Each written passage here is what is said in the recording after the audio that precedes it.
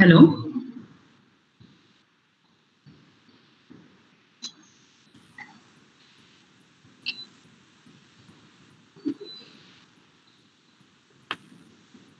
Dr. Chandra, I'm audible? Yes, madam. You're audible. Okay. Okay, thank you. Good morning and a very warm welcome to one and all present here to the celebration of National Science Day 2021. The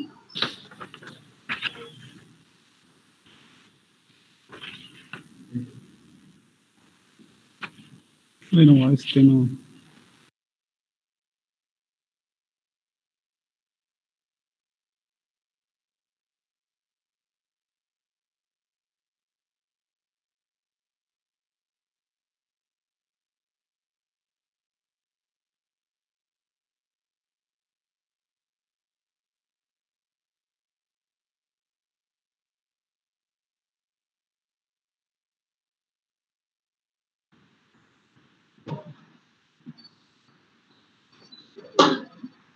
The year 2020 is the most unforgettable and scary because of COVID-19 pandemic that has caused so much misery. It has shown humanity that our ill treatment of the planet has consequences. Today, the main focus of the international community is what needs to be done on sustainability and how to do it how to seriously make effort in solving the triple planetary crisis nature loss, climate change, and pollution, which are closely linked to each other. To do this, all the nations must commit more strongly to the Sustainable Development Goals with a focus on nature based solutions. Since this is the need of the hour, we thought the best way to celebrate Science Day with this theme, and our today's lectures focus on this going local for global impacts, a conversation about eco-sensitive technology. On behalf of Department of Physics, I welcome you all once again to this event. Let us formally begin our program with welcome address by Professor P. Parameshwara. Over to you, sir. Thank you, madam. A very good morning to one and all. Today, we are celebrating National Science Day. Uh, and in fact, uh, it was supposed to celebrate on 28th of February. Uh, due to some final uh, inconveniences, we plan to celebrate today, 14th March 2021. And uh, incidentally, uh, this is this day also very remarkable and special day as this is, today is the birthday of one more great scientist, Albert Einstein. And uh, it is very meaningful to celebrate this National Science Day today. And we are all here to uh, enjoy this day to celebrate National Science Day 2021. On this event, we have with us architect Nitin MS as chief guest and architect Chinmayi MS as guest of honor with us today to have a conversation about eco-sensitive technology on going local for global impacts. On behalf of the National Institute of Engineering and Department of Physics, I welcome both architect Nitin MS and architect uh, Chinmay MS to this event. Welcome you both. And also, our beloved principal, Professor N.V. Raghavendra, uh, was supposed to join with us uh, due to some reasons. Uh, is not able to uh, join with us. Anyhow, uh, he has supported this event well, and uh, I warm welcome to Professor Raghavendra also in his absentia. And today's program is highly supported by our senior professor, Professor R. Gopal Krishna RS, and also our uh, head of the department, Professor S. Doreswamy. I welcome both Dr. Gopal Krishna RS and Professor Doreswamy to this event. Welcome you, sir. I welcome all the HODs of the National Institute of Engineering, deans and other faculty who have joined this program today. Welcome to all. And also, even though it's Sunday, we have 100 and plus students with us who have joined this event to take the benefit of this National Science Day celebration. And I welcome all the student participants to this event. Welcome to all.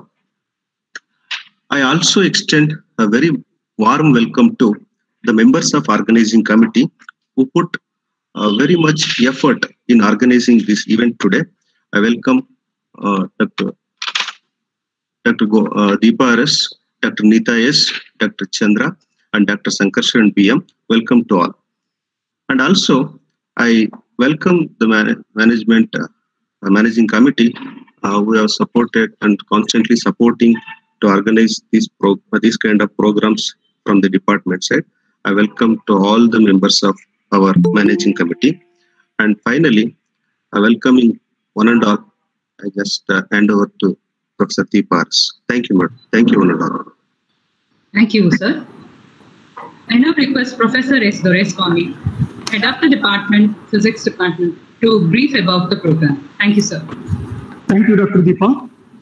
The National Science Day is uh, celebrated in India on 28th February each year to mark the discovery of uh, Raman effect by Indian physicist Sir Chandrasekhara Venkataraman on 28th February 1928. Uh, to commemorate and honor this event, always in the future, the National Council for Science and Technology Communication asked the government of India to designate 28th February as National Science Day, and the first National Science Day was celebrated on February 28, 1987. The basic objective of uh, observing this National Science Day is to spread the message of importance of science and its application among the people. Some of the activities of the day are the technical paper presentations by students, there will be debates, quiz competitions, lectures, uh, public speeches, radio, TV talk shows, etc. The theme of the theme for National Science Day 2021 is Future of STI Impacts on Education, Skills and Work. The National Science Day 2021 aims to motivate the students to gain hands-on experience in the field of science.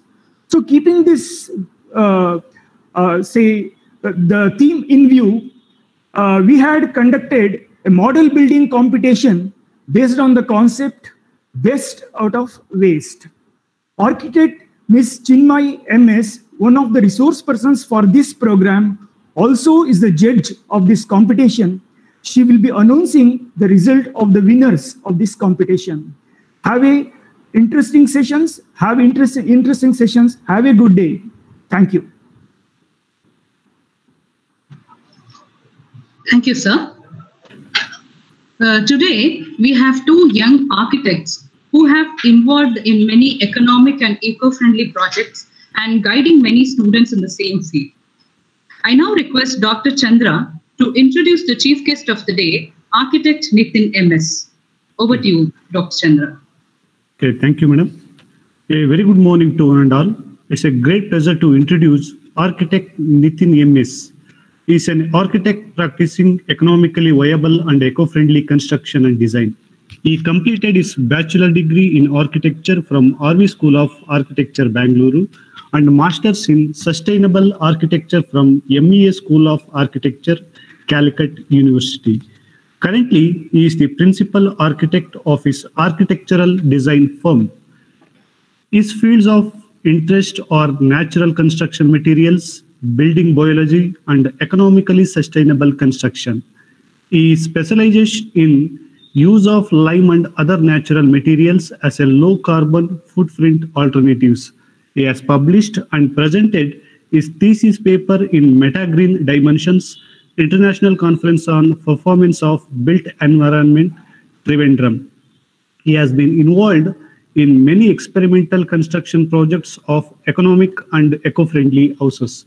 Uh, with this, once again, I welcome you, sir. Now, over to Professor Deepa, madam. Over to you, madam.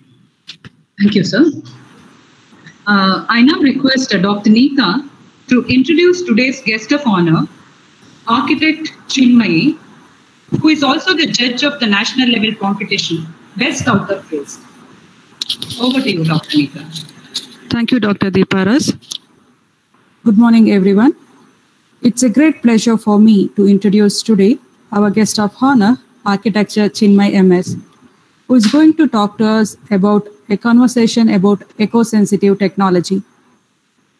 Ms. Chinmay MS is an architect practicing eco-friendly construction and design. Her fields of interest are natural construction technology, eco-conscious life practices, and building biology. She has a bachelor's degree in architecture from SJB School of Architecture and Planning, Bengaluru. She has conducted various hands-on natural construction workshops and specializes in earth construction. She has been involved in many experimental construction projects of eco-friendly and economically viable houses. She has led the design, documentation, and execution teams at Sacred Groves Auroville.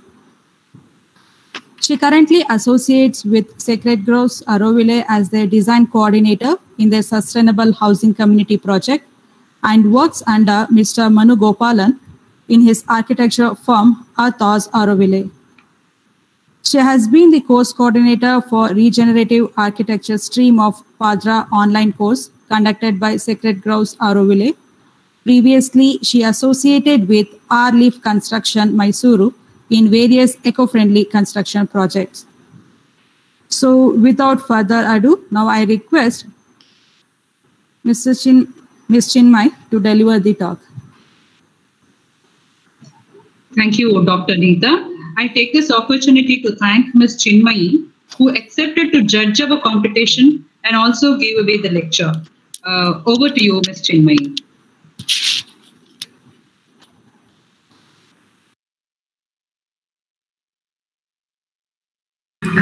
Good morning, everyone.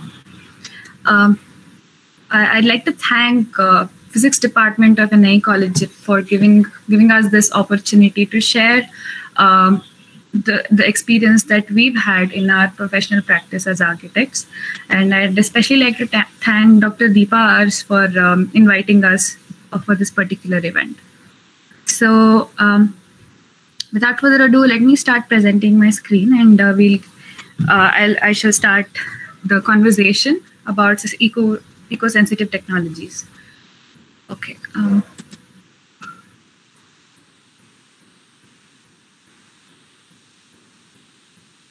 all right. Is my screen visible? Yeah, yeah, yeah. It's presenting. Uh, it's visible.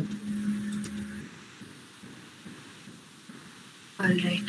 Uh, is your screen visible with the presentation? Yes, ma'am. Oh. All right.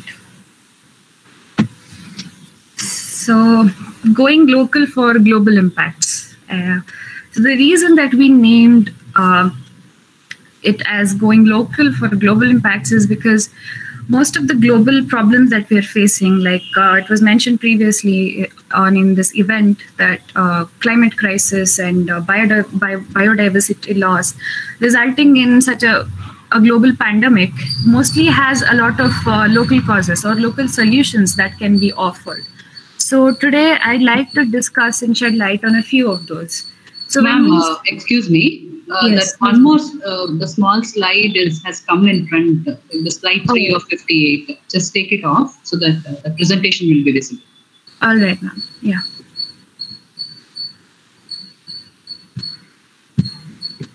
Uh, i- it's gone now, Yeah, right? It's it's fine. It's fine. Yes. So when we say every time, eh, uh, in the timeline of, of human history, every every era has had its own issues, and today's today we have a lot of issues like poverty, global health decline, and food food shortage, and many more. But the environmental causes can be a deal breaker, especially in this time, and uh, we are currently in a time where we are seeing physical effects and impacts of the, uh, you know the horrific effects that it can actually have. Um, so what the global leaders have to say about this is that we are the first generation to feel the impact of climate change and we're the last generation that can do something about it. So as as engineers who are who mostly assembled here and people of science i feel like we take most responsibility in we need to take most responsibility in bringing about change and working towards technologies and innovations that can bring about a, a more healthier planet and uh, provide long-term solutions for these crises so uh, let's take a look at how the planet we currently live in it it wasn't always like this. As we know, we've studied, uh, you know, in our basic sciences, we have come across in schools and colleges. It took our current planet Earth billions of years to reach the stable state that it has right now. So, and it was the condition, the natural environment was not always this stable. Like we know the dinosaur, the dinosaurs came and went, and the Neanderthals, and we are a product of evolution across billions of years. So, our ecosystem right now has reached a very subtle balance. Um, it, it it offers such a beautiful balance that every system that is in place in this ecosystem is cyclic in nature and each system sustains one another in a way that is that is so beautifully managed in its in, in its functionality. Uh, we can consider earth as one machine that is running smoothly on its own which is a, which is of perpetual nature. One moment. Uh, please excuse me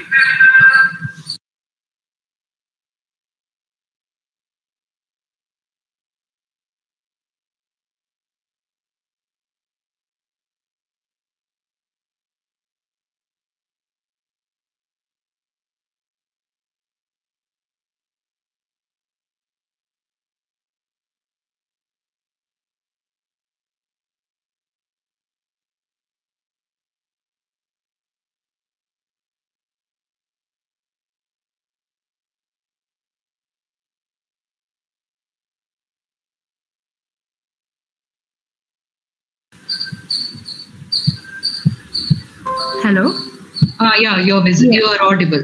yes sorry for that uh, Yeah, that's okay. disturbance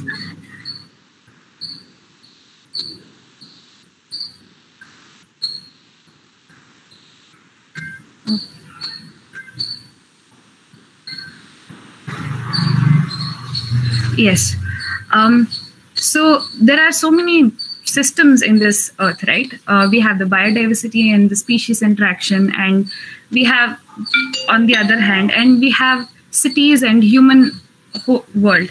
They seem like two different worlds where uh, human civilization is currently so disconnected to forest environment and farming. But as a matter of fact, the whole earth is interconnected in its in how it functions. So right now, what is happening is um, this subtle balance is tipped off because of uh, human intervention. Um, so if we, the most basic example here we can take, you know, we'll probably be reminding ourselves of the uh, of the you know basic environmental science textbook here when you go back to water cycle where the water is such a beautiful natural resource and uh, life would probably not have been possible without water. And nature has a way of moving in all three stratas where uh, you know on the earth's surface in the atmosphere as well as the subsurface of the earth and balancing itself out through water cycle. Similarly other elements in nature like carbon and nitrogen also has its own cycle. So these are the aspects that has that provides balance into nature. And when we come to biodiversity especially um, we have to appreciate the diversity which in which the earth functions the microorganisms and the scale and the scale that it spans to with the flora and fauna. And um, any slight and today because of the human intervention we are losing a lot of a lot of types of species. And the impacts of such biodiversity loss although not directly visible are very are very much uh, happening uh, because as i mentioned before we seem to be living in two very different worlds in the sense that we do not come across the natural environment of how the earth functions. Uh, because since the civilization has progressed we've evolved into cities and villages. So um, because we do not witness it it becomes invisible. So i so this is one very famous graphic that you probably have come across where humans we consider ourselves as very intellect intellectual beings but whereas we are just another part of the ecosystem so i'd like to uh, provide one very classic example of how the ecosystem balances out itself so the one I would like to present is an example from Yellowstone National Park in the United States. So in this case, what happened was in 1920, the wolves from the national park disappeared because of human intervention. They were hunted down and killed by the hunters. So what happened further? Uh, let's look at a video. Uh, video. Uh, Mr. Sankarshan, could you please share the video from link one? Uh, give a moment. Yes. Do it. Uh, should I stop sharing my screen? Uh, yeah, you can. Okay, thank you.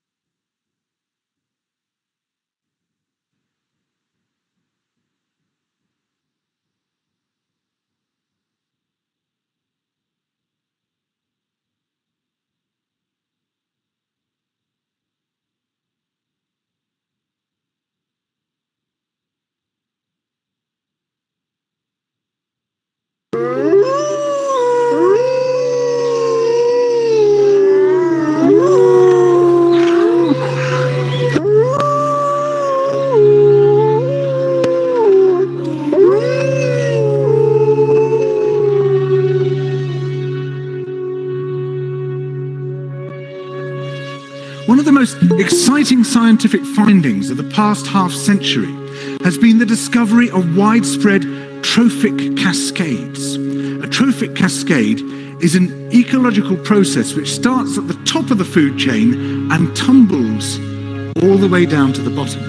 And the classic example is what happened in the Yellowstone National Park in the United States when wolves were reintroduced in 1995. Now, we, we all know that wolves kill various species of animals, but perhaps we're slightly less aware that they give life to many others. Before the wolves turned up, they'd been absent for 70 years. That the numbers of deer, because there was nothing to hunt them, had built up and built up in the Yellowstone Park, and despite efforts by humans to control them, they'd managed to reduce much of the vegetation there to almost nothing. They'd just grazed it away. But as soon as the wolves arrived, even though they were few in number, they started to have the most remarkable effects. First, of course, they killed some of the deer, but that wasn't the major thing. Much more significantly, they radically changed the behavior of the deer. The deer started avoiding certain parts of the park, the places where they could be trapped most easily, particularly the valleys and the gorges. And immediately those places started to regenerate. In some areas, the height of the trees quintupled in just six years. Bare valley sides quickly became forests of aspen and willow and cottonwood. And as soon as that happened, the birds started moving in. The number of songbirds and migratory birds started to increase greatly. The number of beavers started to increase because beavers like to, to eat the trees. And beavers, like wolves, are ecosystem engineers. They create niches for other species. And the dams they built in the rivers um, provided habitats for otters and muskrats and ducks and fish and reptiles and amphibians. The wolves killed coyotes, and as a result of that, the number of rabbits and mice began to rise, which meant more hawks, more weasels, more foxes, more badgers. Ravens and bald eagles came down to feed on the carrion that the wolves had left. Bears fed on it too, and their population began to rise as well, partly also because there were more berries growing on the regenerating shrubs. And the bears reinforced the impact of the wolves by killing some of the calves of the deer. Here's where it gets really interesting. The wolves changed the behavior of the rivers. They began to meander less. There was less erosion, the channels narrowed, more pools formed, more riffle sections, all of which were great for wildlife habitats. The rivers changed in response to the wolves. And the reason was that the regenerating forests stabilized the banks so that they collapsed less often, so that the rivers became more fixed in their course. Similarly, by driving the deer out of some places and the vegetation recovering on the valley sides, there was a soil erosion because the vegetation stabilized that as well. So the wolves, small in number, transformed not just the ecosystem of the Yellowstone National Park, this huge area of land, but also its physical geography.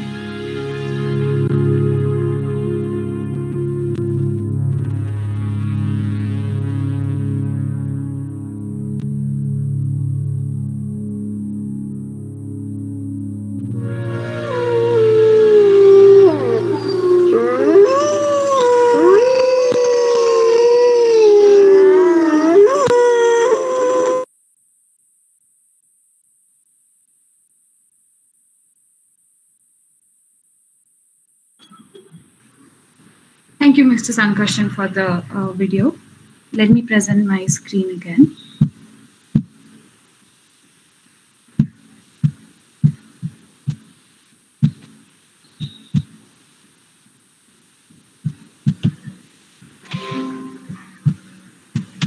Uh, is my screen visible? Yes, yes, yes. Um, Okay.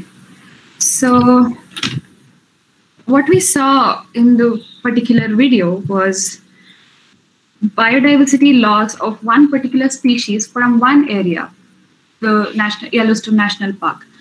Fortunately, the case of Yellowstone National Park was reversible over time, and in our lifetime, we are able to witness what happens when we lose a bio, when we lose a certain species from the area, and what happens when we can recuperate it. But what happens when an entire species is wiped off the planet? We can only imagine the kind of loss that we we have caused ourselves because as much as the beavers and the bears depended on the wolves to thrive unknowingly, we also depend on many, many, many creatures that we have unfortunately lost because of because of human activities as well as not natural causes, undeniably. And that is why protecting natural reserves become extremely important. Um, so that is one example on a global scale as to what is happening in another country uh, and which has an impact on the earth. Let's look into our own country. Uh, the case, the recent case of uh, Mollem and Bhagwan Mahavir National Park, where there are three project proposals uh, happening and uh, which cuts through the biodiversity hotspot, which is a UNESCO World Heritage Site. And the reason for this development is particularly for coal transportation from Karnataka to Goa, um, which also can happen uh, otherwise. So this is basically to feed the industries more. Of course, uh, development and amenities are important, but at the same time, while we consider the costs of development in road transport and electricity, what we are neglecting right now is the cost at which the nature works. We cannot put a price on the natural services that nature offers, like purifying our air, uh, emitting oxygen and taking in carbon dioxide. They are carbon sinks, and effectively regulating the ground uh, groundwater table by holding the uh, groundwater soil. These are things that are invisible to us, and we do not come across these things, but they're very much happening. So, in this particular case of uh, Mollem National Park, the project will cut through the forest reserves. But, and what is the issue if it cuts through the forest reserves, you may ask? What it will do is uh, destroy 70,000 trees on the way, which have long stood there for uh, hundreds of years. And it is important, very important that we have we have older trees uh, for a lot of for a lot of scientific scientific reasons in in the national uh, in the forest reserves, and uh, it in, interrupts plant animal interactions and seed dispersion. It increases the mortality rate of wild animals and movement rate of wild mammals, reptiles.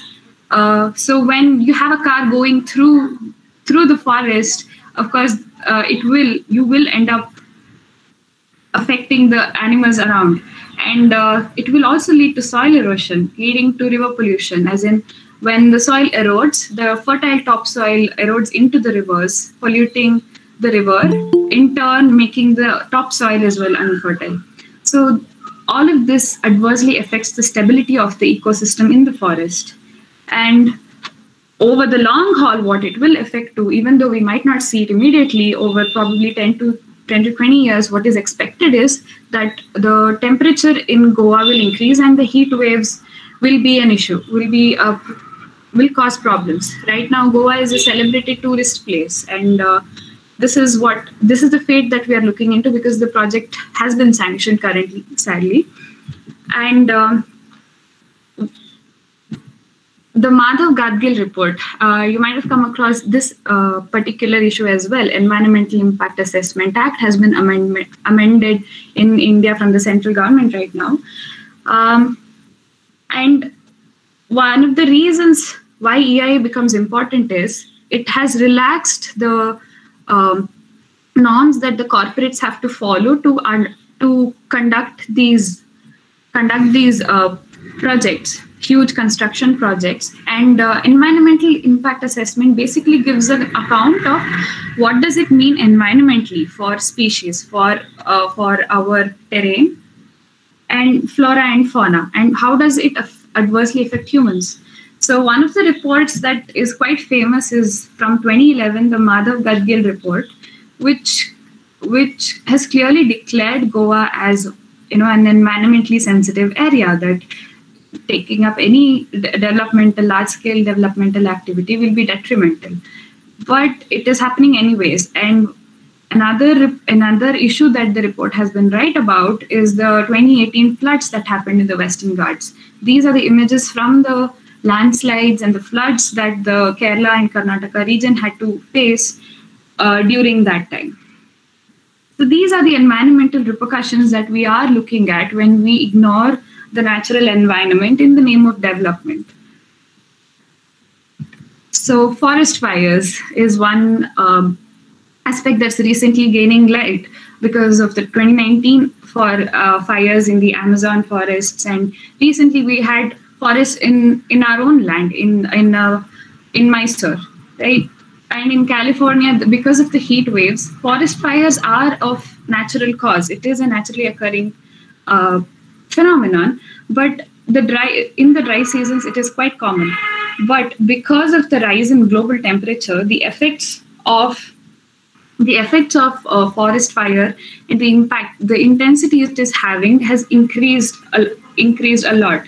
And most of the fires that are being caused is because of human actions. It is either on purpose as in to uh, you know maybe they have an agricultural land that they want to uh, they, want to regulate. So they set fires and it, it is controlled fires, but sometimes they tend to get out of control. Or it could also be by accident um, that forests are set on fire. So just to give an idea of what region of the world have these occurrences commonly, you can see that it is mostly located in the equatorial region because of the uh, because of the much heat gain. And although, like I mentioned, even though it is a naturally occurring thing, it's when its intensity increases, the the its effect on global warming also also increases. So let's take a look at how how how much the temperature has increased and, and at what scale it is going currently. Um, Mr. Sankarshan, could you play the uh, video from link 2 for me, please? Uh, yes, uh, yes, ma'am. We'll play it in a moment. Thank you.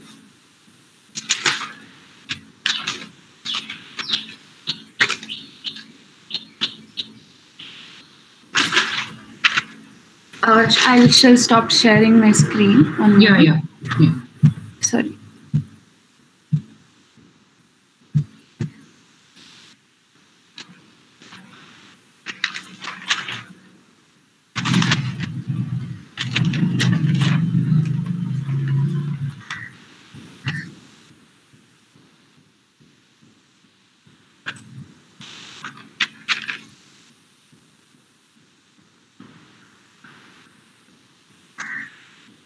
You can un- uh, you can mute yourself, uh, Ms. Chinmay. Sure, ma'am.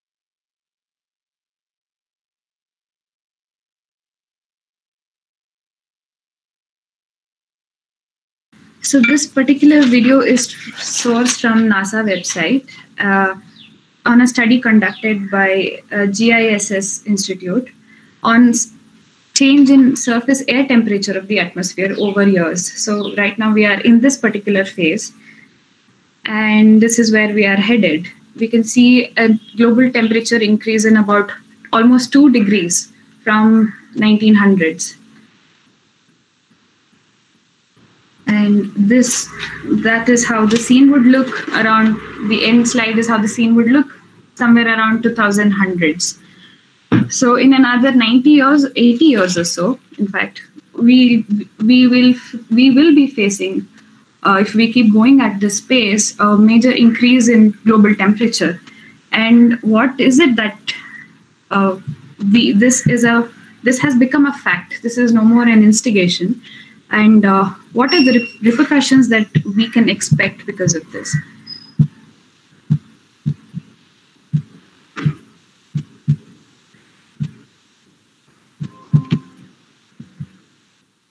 So the major ones would be the polar bears would go extinct and the water supply will get affected.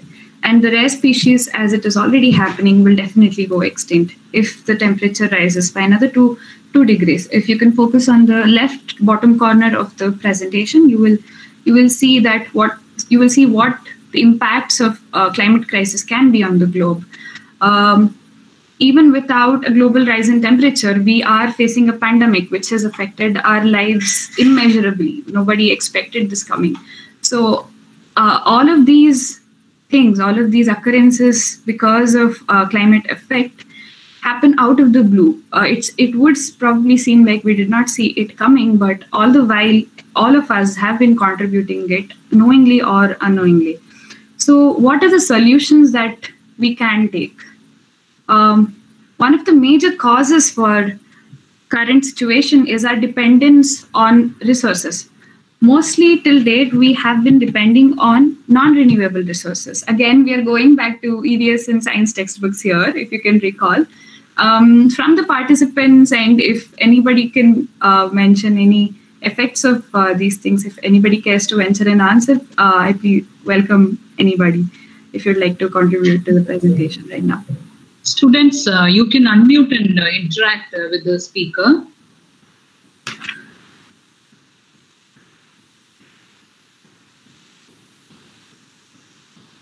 Hello. Um, I'm sure these are topics that you have come across, and there are no wrong answers here. We are all here to learn and grow together. So it is okay. Uh, I, I, you guys, you are people who are bubbling with ideas in your head. Please don't shy away. Please uh, voice out your opinions and answers.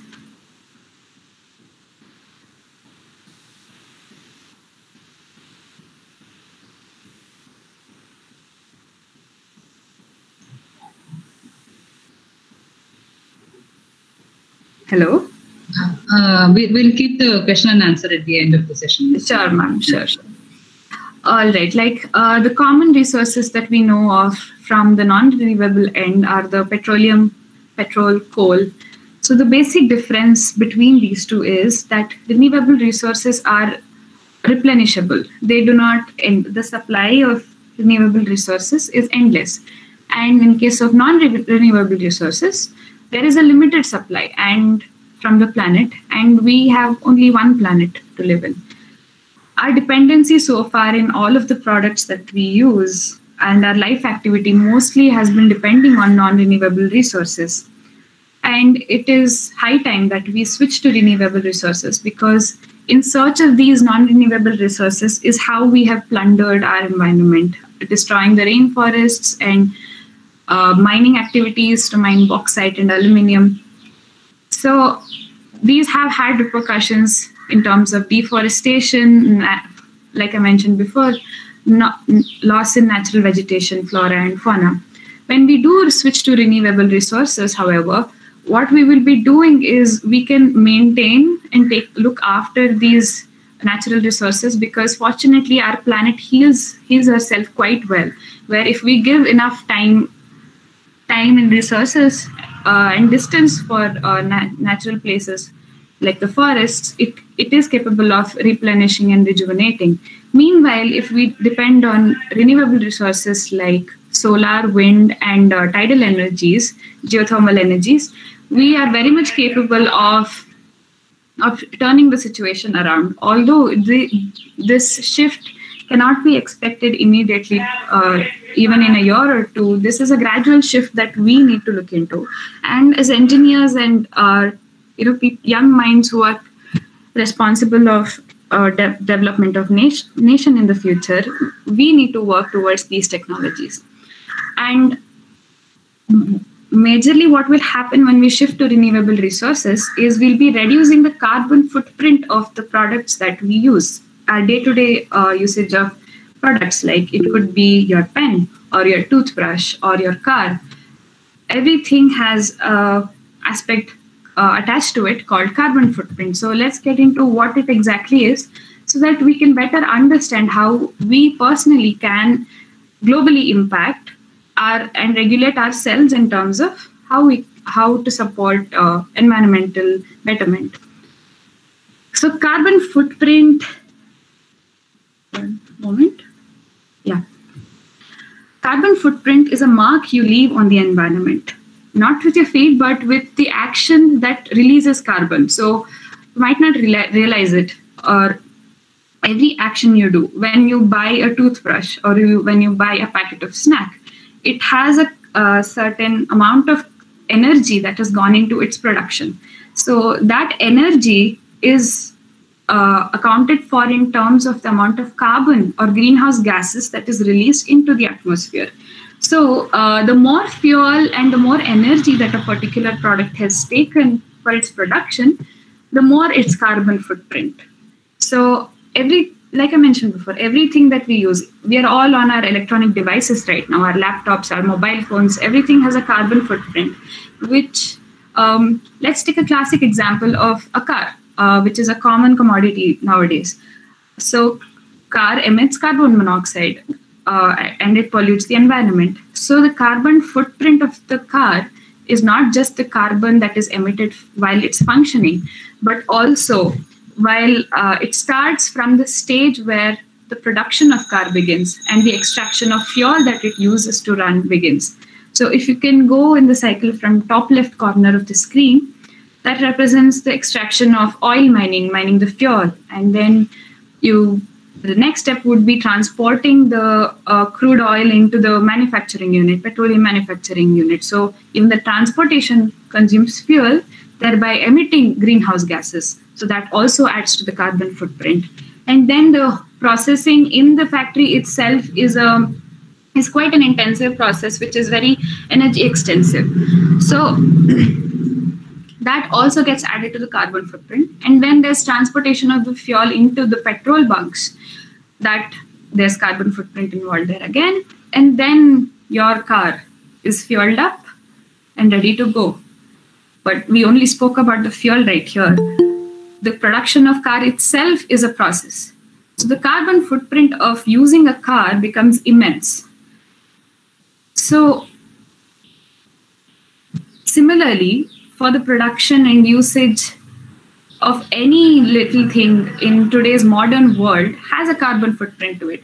In uh, in cave cave days where you know in Neolithic era where we did not use many industrial things, where such uh, such inventions did not happen and industries were not set up, this problem problem did not exist. Caveman was very guilt free, living his life, but uh, in modern days, because we our lives have evolved with these in- innovations, every aspect of our lives involves carbon footprint, and not just uh, not just mechanical things or synthetic and man-made things, even natural things like food producers. Even an apple can have carbon footprint when you import it from outside wherein wherein say it is produced somewhere in somewhere in Kashmir, which is mostly our source of apple, even in, within the country, it has to travel a distance till it reaches southern part of India, right? So the fuel fuel cost will get attached to the carbon footprint of the apple that we are consuming.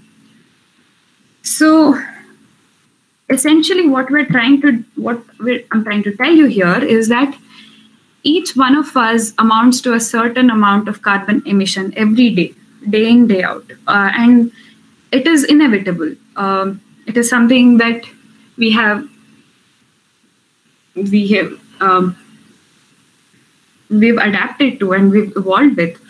So only thing we can do is reduce the carbon footprint. Like I mentioned before, the carbon footprint of a car is humongous.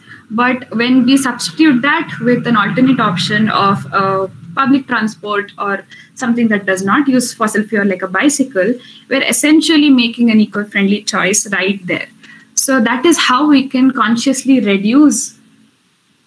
Uh, reduce our own carbon footprint. And another aspect of uh, carbon footprint is how far the product has transported to reach you.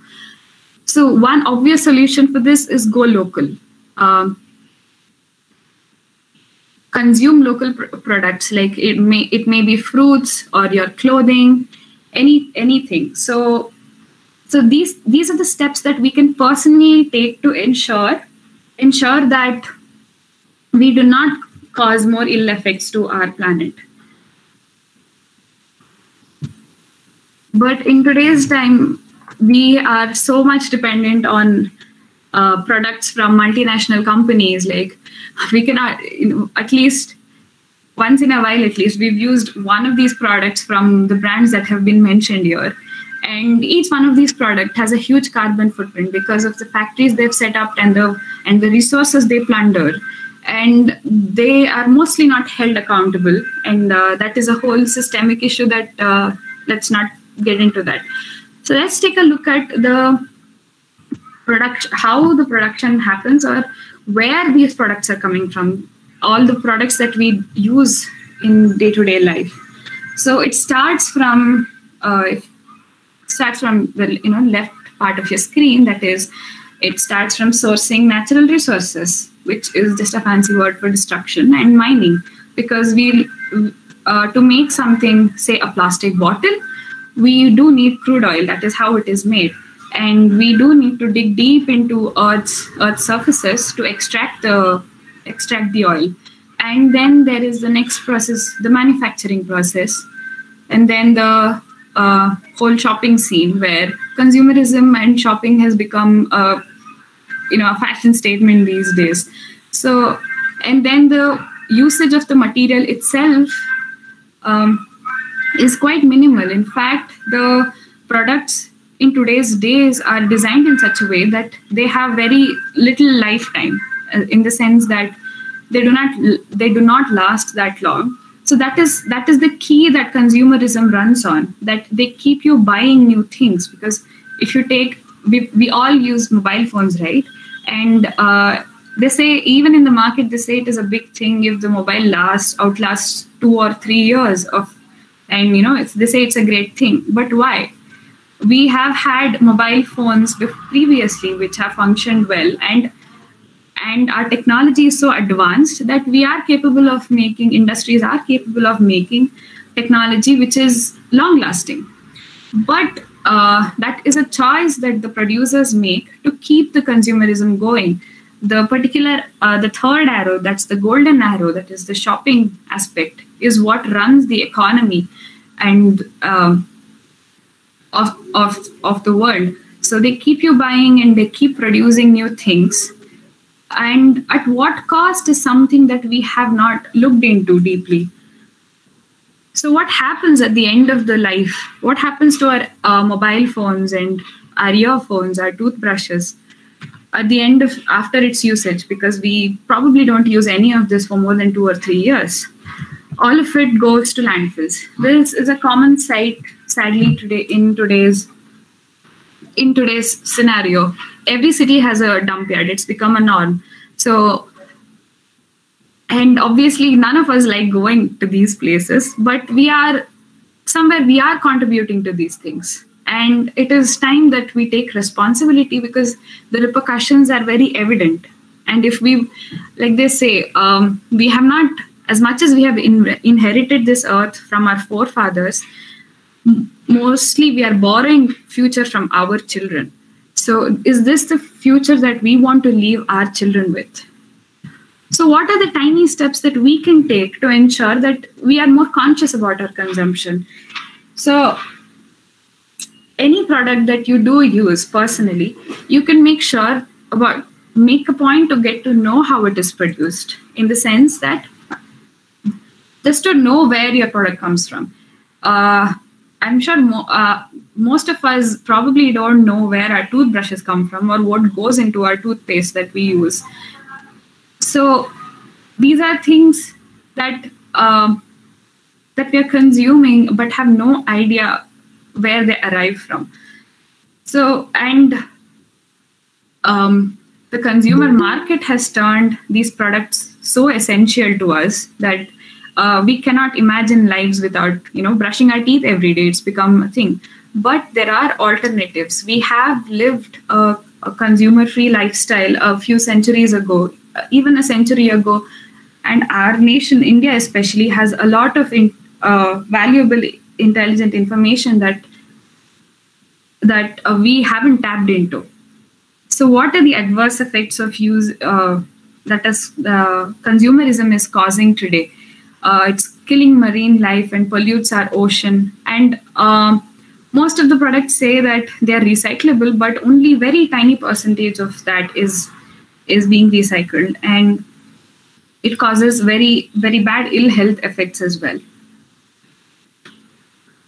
Can we change this? Can we shift from this? And if yes what would be the alternative? Since we are so used to using all these products we need alternatives for it because we cannot be expected to you know just say no we will not use these products because we have we are so you know we have lived with these things for so long. So the alternate is that we use that we are conscious about how the production of these things happen. So the current economy or production line that follows is the linear economy where the chain goes from natural resources to waste and everything that happens in between is its production, usage, and disposal. Uh, so we are essentially converting natural resources into waste at the end of the day. what we can look into is a circular economy where we look at an economy which is which does not have an open end but a closed loop if we recall uh, again from the presentation earlier the natural systems always are in cycle. Uh, there is it is not a linear system. Because if, if you take consider the case of water cycle there is always a place that water goes and uh, and reforms. It does not go to waste anywhere. So that is something that we humans also need to adapt in uh, our own lives. So there are uh, essentially two two ways of uh, this circular economy being possible. One is organic recycling using biodegradable and compostable products. As in, for example, if we can substitute our plastic toothbrushes with a bamboo brush, which will decompose eventually, because uh, trust me, it won't make a much. It won't make much of a difference when you're brushing your teeth if you're holding a plastic or a bamboo. In fact, uh, I personally made the switch, and I I feel happy that the, the brush won't end up in a landfill. So, uh, making biodegradable and compostable using those products can help greatly reduce the amount of waste production that ha- that is happening currently. And uh, another thing, another technical aspect that we all can focus is mechanical recycling. So, when we have waste, any product is you're done using the product instead of throwing it out we need to consider if we can reuse it. In your own in the premise of your own home if there is a possibility and a place for it to go. If not then there is recycling always. But that is not the case for most of the products. So what we can make a conscious choice about is not to use products that are not recyclable which again becomes very difficult. We again we have to make a choice based on situations. And another option is upcycling uh, what I mean by upcycling is um, upcycling is where you extend the life of the product after its usage. Say a Tetra Pak fruity pack. Uh, you know all the all of these milk cartons come in the uh, these Tetra Pak layers of aluminium plastic paper.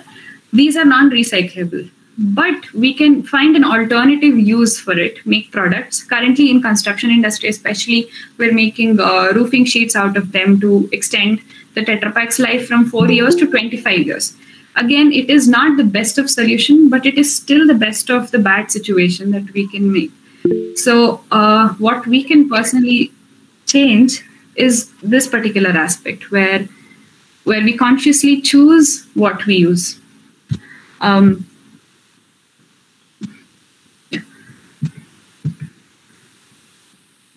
Um, uh, Dr. Deepa, if, if you could excuse me for one moment. There yeah, yeah. Yes, yeah. yes, you can take uh, students, you are supposed to ask questions and make the session more interactive, no? So it will be, uh, it should not be like one-sided. Uh, you should participate. This uh, is ex exclusively uh, arranged for you people.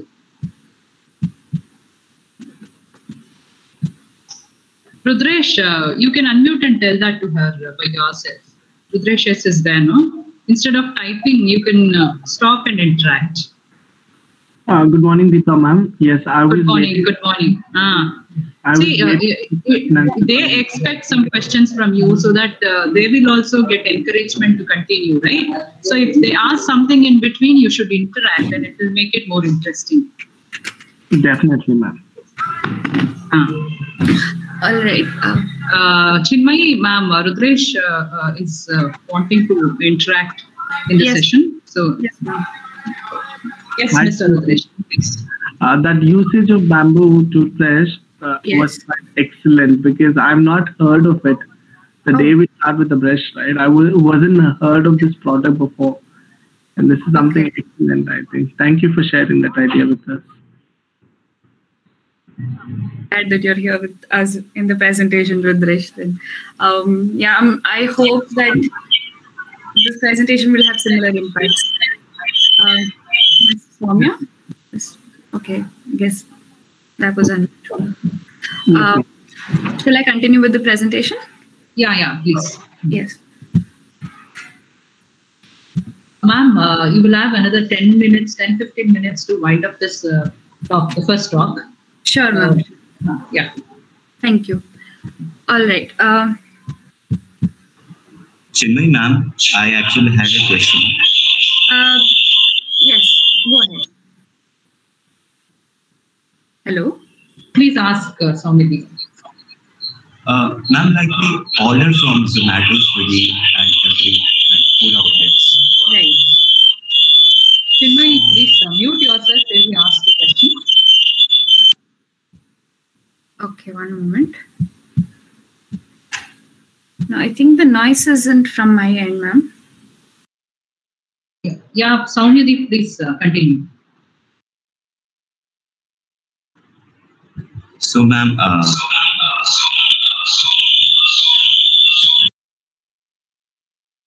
Uh, Samide, if you could check if you're logged in from multiple devices, that tends to happen when you do that. If you could mute yourself or distance one device, it would help.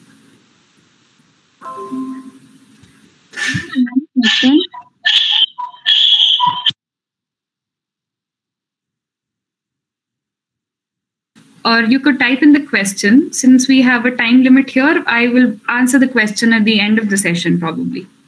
Yeah? Does that Uh, work? Soumya, you, you just log out of the multiple devices if you have logged in. And by the end of the session, you can ask a question. And if you- if you have the same problem, you can type in your question and ask the same problem. Yes, Mr. Chinmay, you can continue. Yes. Oh, sorry.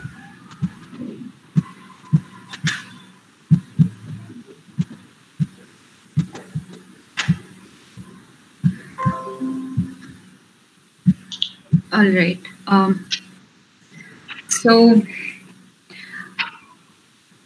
uh, let's resume with one very important, not one particular event, but industrial revolution and how it has powered consumerism and how it has you know catered to consumerism. So currently we are in fourth industrial revolution. The first one was in around before 1800s in 18th century when um, the steam engine was invented and cars were new things. And the second industrial revolution marks the assembly line production which is which was uh, crucial in terms of mass mass production. And around third industrial revolution uh, the production became automated where you did not even need an assembly line. The machines would take care of it. And currently we are in the middle of fourth industrial revolution as in uh, so where we are we have artificial artificial intelligence guiding the content that we are consuming and uh, things like that. And all our devices are connected via cloud. There is so much automation happening. So that is where we are at. And the deeper we go into technology and industrial revolution what we have seen is this is in the production region that this if we recall the uh, economic setup it is in the make region of the linear economy that we have these advent, advents and innovations happening. But what we have fallen behind is with the waste management the end of the cycle.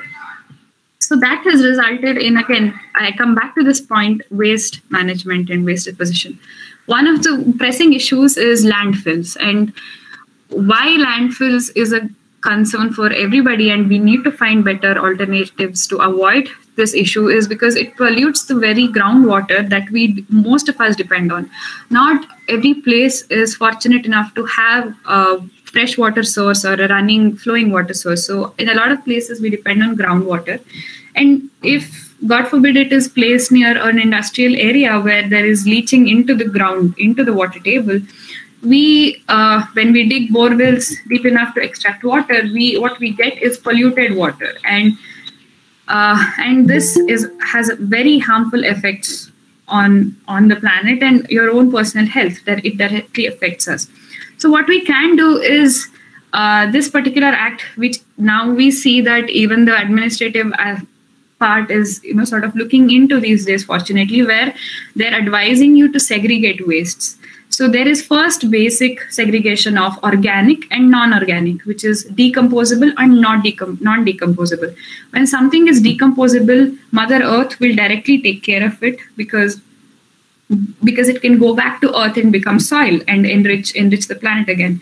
But when it is um, non-synthetic products like metals or plastics and paper, we need to be careful as to where it goes at the end of its life cycle. So segregating and repurposing and recycling these products becomes very important uh, to avoid the situation. And and one thing that we do need to remember is that we are interdependent. As much as we see, uh, we don't come across wildlife or domestic life. Uh, our ecosystem is interlinked, and that is how the whole Earth sustains. If there is some sort of uh, factory pollution happening in ha- halfway across the world, our country gets affected as well, and it is vice versa. So we have a global responsibility to be responsive ourselves, and um, that so far we've extensively covered the environmental impacts of using um, products which are produced by big corporates or you know industrial products basically it could it could be as minute as your you know zomato packaging that Saumidi was mentioning was trying and be it even the toothbrush uh, when we go local as in when we depend on um, products that are made in our immediate surroundings uh, it has a considerable socio-economic impact on improving our own uh, surroundings as well. So uh, there is a concept called 100 mile economy where if you shop, if you're able to shop and consume products from in and around you, uh, which are local to you, um, you will you will have a considerable impact on the regional economy. In the sense that uh, a classic example could be, mm, again, our favorite thing, snacks, right? um, you okay Lay's on kurkure is also chips and your local uh, hot chips place is also chips but when you are buying Lay's the money that you're contributing is going to the big manufacturers in the sense that people who are already rich these people these corporates are extremely wealthy and um, they they keep the process running and keep you on their products products like i mentioned before uh, so that they keep getting wealthy. If say you choose not to take Lay's or kurkure or you know all of these packed food and you go for a local local shop and buy hot chips like hot potato chips. Who will you contributing your money to? You will be contributing to somebody from your own place and you will be helping them make a living. So these are the small conscious changes that will this is just one tiny case. The impact of this can scale from clothes where uh, like we all love fashion right? We all buy from uh, h&m forever 21 zara so these are big corporates. What if we replace this with local materials like things that are made locally like khadi? Uh, that again has an that ha- has its economic impact. So these are the conscious choices that we can make. So this is a, a comical representation of who we are in our economy. And um, there's an, uh, one more concept that I'd like to address here is greenwashing. Uh, so today, uh, the term sustainability itself has been used in various senses, and uh, we have a lot of green products coming up, right? Like organic food and all of these things. So at the same time, you have to be conscious about what you're consuming because the labels will say green product outright you know to showcase. But uh, we need to think for ourselves. Is this product really green? Uh, one Um, somebody's microphone is on could you please mute yourself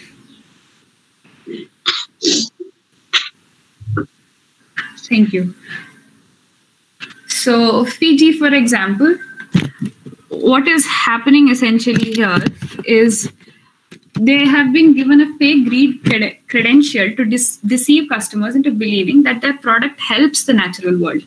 Whereas the bottled, uh, the label on the bottle neglects to mention that water bottles are one of the most detrimental products and one something that is avoidable if we consciously make a choice to carry a bottle of water with you, like a metal bottle or a reusable bottle. Bottled water can absolutely be avoided, and in fact, anywhere you go in uh, where the land and our groundwater is not polluted you can directly consume groundwater with basic filtration and bottled water is com- is completely avoidable and uh, what is shocking is what we see in weddings today. Like every person has half a liter of water and you know nobody really completely drinks it and it goes to waste. These are situations which are completely avoidable. In weddings you can replace it with with uh, metal cups and you can wash it and reuse it again. So these are things that uh, that are that happen right in front of you you are made to believe that these are green products but essentially when you look into the economics environmental impacts of these things they are not so green. So this is just a tiny example of greenwashing. What the big corporates are doing is just labeling labeling their products left and right green which which really isn't fair on uh, you know on their part or consumers part. So as consumers we need to be conscious enough to take a call on what we what we buy and what we don't because we still have the power as to where we contribute money into what we are putting our spending our fortune in. So let's take a look at innovations and sustainable technologies and possibility. Here i'd like to mention one very beautiful example of uh, a dutch solar designer that i came across. Uh, her name is Marjan van Aubel and uh, the one thing she believed in is that each, this is the statement of uh, her driving force. Each hour, the earth receives enough sunlight to provide to provide uh, the whole planet with sufficient energy for an entire year. So she believes that every hour we are receiving so much energy from the sun, right? So this is something that we need to tap into, is what she believes. So um, she has come up with uh, designs for this particular window that you see. It's called a current window. Um, so the, uh, if you can see the image on your right side, there's a there's a phone charging at the at the sill level at the uh, on the on the platform, right? So the whole window is an elect- is a solar panel the tinted glass window is a solar panel and the there are electric cells in there. So this is a kind of innovation that we would we want to we should be doing in order to have a more uh, you know sustainable and eco-friendly eco-friendly future or what we this is what we sh- this is the technology that we should leave our next generation with. And uh, a few other innovations that uh, she has come up with is the current table again with the similar uh, concept where the tabletop is completely made of solar cells and you can plug in you can plug in your phone and uh, charge. So in this particular case you are not relying on any of the uh, fossil fuels. You do not have to have nuclear reactors producing high energy things for you to get electricity here. It's you are tapping into the sunlight which is a renewable resource to to cater to your own needs. So this is this is another thing that uh, Marjan has come up with as well. It is called a power plant. So it functions as a solar cell. Uh, the the case that you see on the left top corner is the is transparent, but it is a solar panel. Solar panel which is transparent and produces electricity. And what you see on the right are urban farming pods where there's water running through the pipes and uh, there are greens growing inside inside these pods which can be consumed. So this is one innovation which addresses uh, multiple issues at the same time. Uh, you know it addresses the issue of shortage in food and enables urban farming as well as uh, you know production of electricity so this is just one example of the kind of innovation that we are looking into and that we need to have a better future and um, yes, thank you for listening patiently. And uh, yeah, this is the end of the presentation. Thank you so much. I have a question to ask. Yeah, sure. Uh, how to bring sustainability in construction in order to reduce uh, industry's impact on the environment? Okay, so the next presentation by architect Nitin M is completely focused on this particular issue. So I think you will find a lot of answers then. So stick on. You'll find very elaborate answers than I can offer you in the short time I have right now. Hope that's fine. Yes, ma'am, sure. Thank you. Ma'am, I had a question. Yes, Jayesh.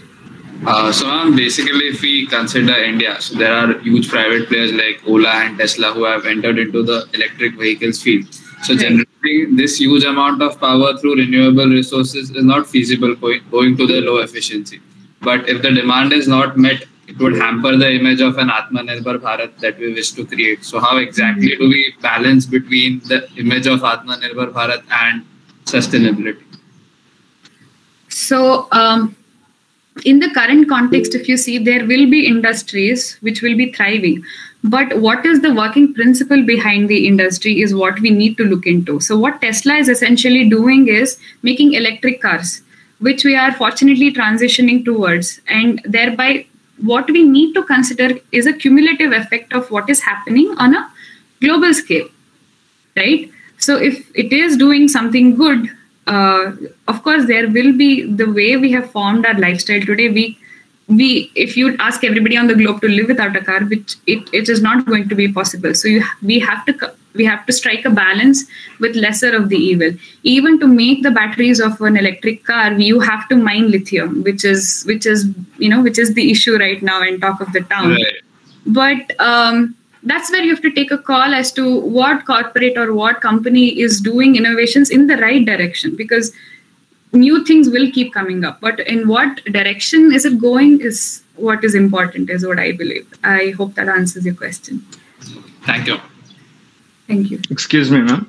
yes suhas Ma'am, which are the courses that which mainly focuses on the sustainability?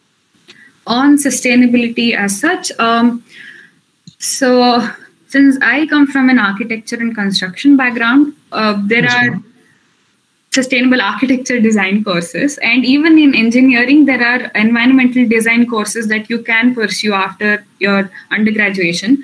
Or you can work in in these corporations. Even if there are no uh, you know curriculum like mainstream cur- curriculums dedicated to these courses what we uh, even me personally i learned with experience. When i only when i went into the field and worked i got to know about these things and i was exposed to this entire world of what is happening. It was sort of an eye opener so even if there is no conventional course as such uh, you can do internships in places which are working in these lines you know apply for places like this and you know enter competitions like the one that NIE physics department organized and have these conversations with more people so you can look into internships i would suggest to get a more practical experience uh, if you do in case you don't find a formal training course for of for your stream Okay. Thank you. thank you Thank you, thank you, Ms. Chinmayi. I remember a song, a famous song from Michael Jackson. Heal the world, make it a better place for you and for everybody. So that's what exactly we need to think about. And each may, may it be an engineer, may it be a doctor, may it be a technician, everybody and every citizen has to focus on uh, the eco-friendly uh, habits uh, so that we spare future for our uh, the future kids also and uh, it was indeed a, uh, an excellent presentation, which definitely I hope it might have inspired many of them to use the bamboo brush or the bamboo straws, uh, or in whatever way they can contribute uh, for the uh, the nature.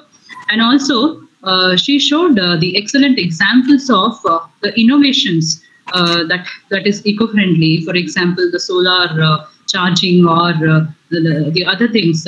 So you being the engineers and probably after five years you'll be into the profession and you can also be, uh, I mean, you uh, be creative uh, in contributing things like this. And this is definitely an inspiration to everybody. Uh, thank you, Ms. Chinmayi, once again. And uh, now it's time for the announcement of the winners of uh, the national level competition, Best Out of Waste. And for those who do not know in the audience, we had arranged a national level competition, Best Out of Waste. So we had asked them to create some models which are uh, uh, which uh, using some technology and make it more applicable. So based on some criteria, Ms. Chinmayi has judged it and uh, she is about to announce the winners now. Over to you, Ms. Chinmayi. Okay, thank you, Dr. Deepa. Um, so we had very uh, very interesting entries for the best out of waste uh, context contest, and um, I'd like to mention a few criteria based on which uh, I had to make the judgment. Uh, the first would be the functionality and originality of the idea. And then the uh, practical model and its application in real-time world, and its relevance to common public. Um, uh, how feasible and how what impact it has on everyday you know common people is very uh, important and the scale of the impact scale of the impact that the recycling and the reusage of that particular waste material has so um, based on this i'd like to announce the winners right now so the first uh, sorry okay let me go from third place so the third place goes to vignesh v for radiographic film recycler. Um, Dr. Deepa, will you Uh, be seeing the videos later? Yeah, yeah, yeah. Uh, we can do that or after announcing all. The third prize video he is about to uh, showcase now. Just Shall wait I- for a moment. Sure. Yeah.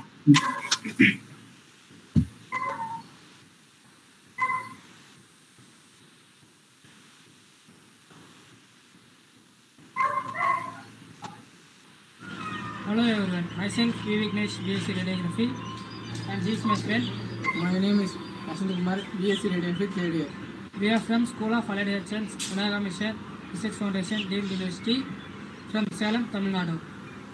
Say about the radiographic film recycler. The radiographic film recycler is a machine which are used to recycle the radiographic film because nowadays the radiographic film is a big cause of biomedical waste which is non-degradable waste. So by recycling them we can reduce the non-degradable plastics waste by radiographic film. Say about the concept. The concept of the radio, radiographic film recycler is erasing the upper four layers of radiographic film. Radiographic film is made up of four layers. Base, adhesive, emulsion, supercoat. When the electrons uh, fall upon the film, it forms the image with the aluminum halide crystals. And after it forms the lateral image. We are going to remove that aluminum halide crystals and to and extract the polyester sheet from the radiograph film. And this polyester sheet will be recycled by recoating of silver halide crystals. By this, we can recycle recycle the X-ray film and the dust collected from the erasing of the uh, silver halide crystal. It, it's used to recover the silver from the dust. We have shown here the dust. Say about the benefits. The main benefit of this is uh, to reduce the biomedical waste by radiographic film and to recycle the radiographic film. And mainly it is a chemical free method, purely mechanical. The me- method used is a emery sheet roller which used to erase the upper layer of the X-ray film and it is the cheapest method if for recycling one and, and it is uh, eco-friendly to the environment. You can see the image here. Now we are going to see about the radiographic recycler film recycler model. In this method we are using the emery roller. The emery sheet is this which is used to grade or erase the upper coating of an X-ray film and it get gets polished and the polyester sheet is uh, comes out as a result. This in first time recycling. After recycling, there will be a mark in the X-ray film that recycled first time, and then in second for second time, the quality of the polyester sheet will, sheet will be lowered. So we make two films to recycle. In that method, we insert one film above and one film below, and as is, as, as usual, the film get a the co- film coatings gets erased and two polyester sheet layer were merged into one polyester layer by use of adhesive.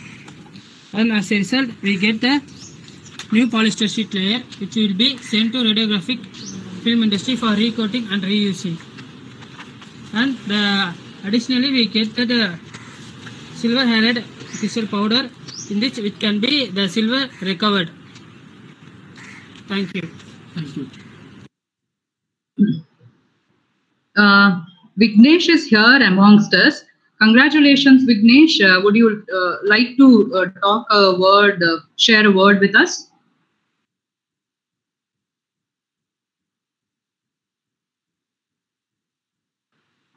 Vignesh? Thank you.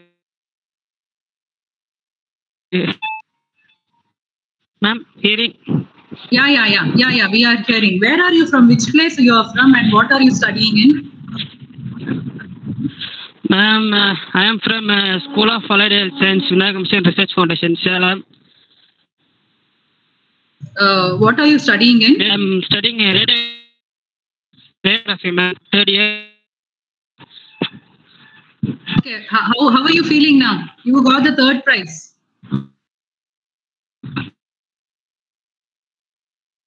I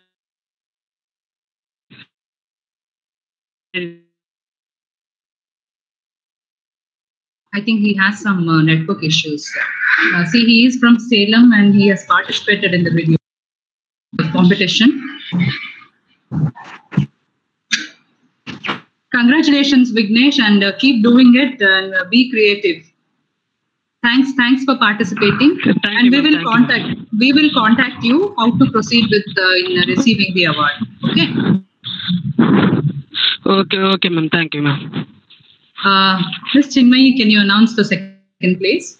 Uh, students get inspired from these videos. You can also uh, be creative and uh, uh, use your uh, research mind uh, in, in, in creating the models like this. Yes, ma'am. So um, the second place goes to Shaheen Afshana for uh, handmade torch from waste bottle.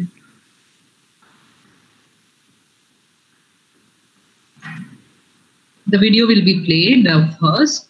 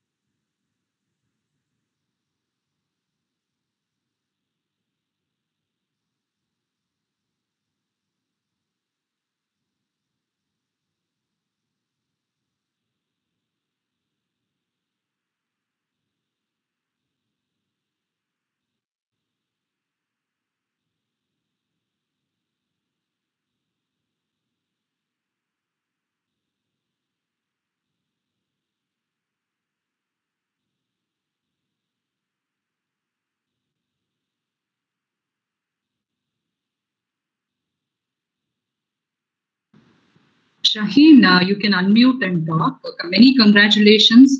Uh, indeed, uh, a very creative model you have. Uh, can you unmute yourself and talk? Good morning, ma'am.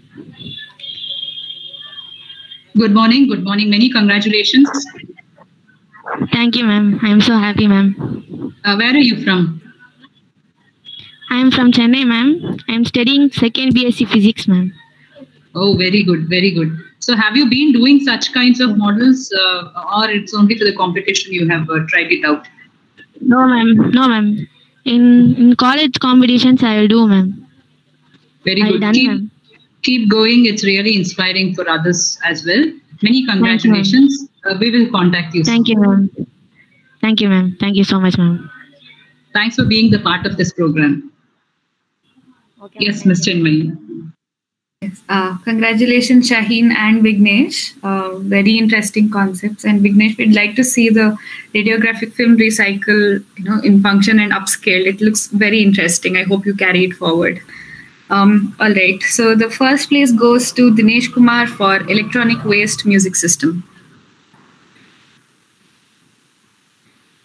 Many congratulations, uh, Mr. Dinesh. The video will be played soon.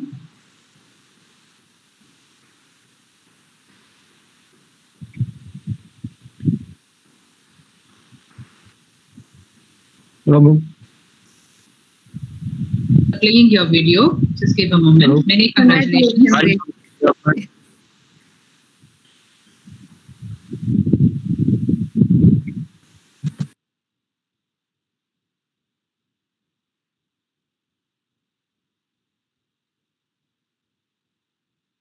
Um, so the audio is not uh, audible.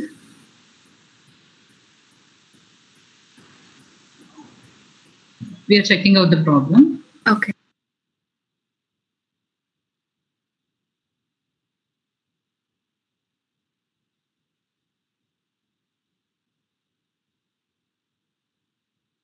Uh, sorry, there is some problem with the audio. Just uh, go ahead with the video.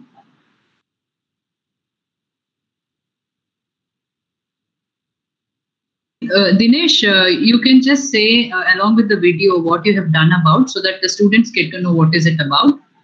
What is this model about? Ma'am, electronic waste, ma'am. Just explain in a one or two sentences so that they understand what have you done. Since the audio is not there, you can explain them in few sentences. Ma'am, sorry, ma'am. I am not, not uh, English speaking. Okay, okay, fine. It's okay. Okay. Uh, Miss Chinmayi, can you just uh, explain what he has done?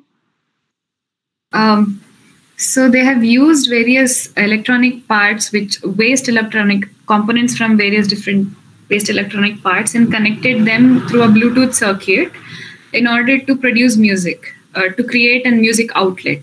That is the whole uh, project.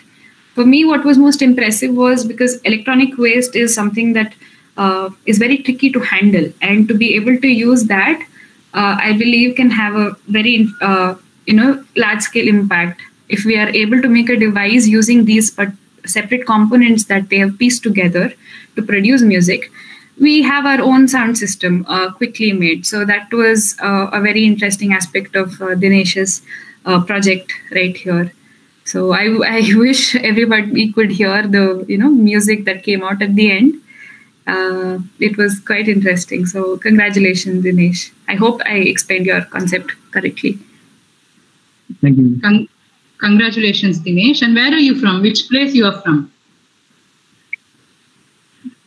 I'm from uh, Karur, Tamil Nadu.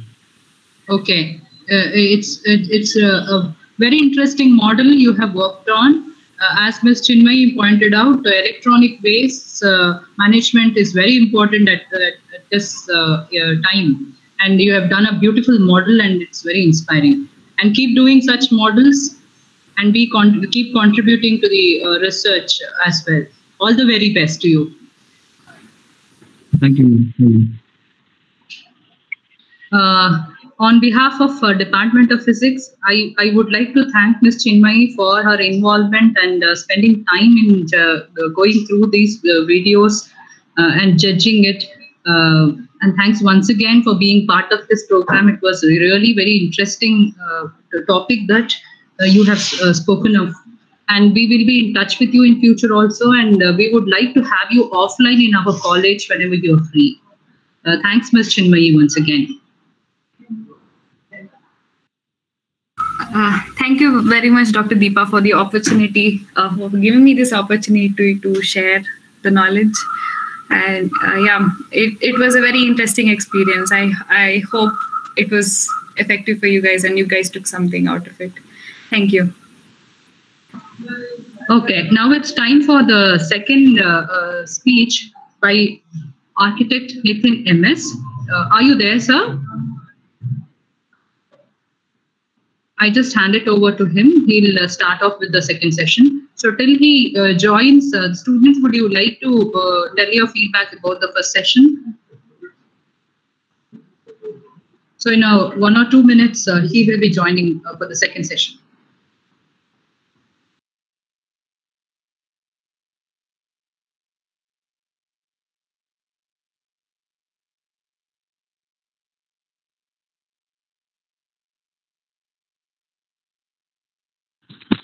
Excuse me, ma'am. Ma'am? Yes, Rashmi. Hello. You can you can speak, Rashmi. Yeah.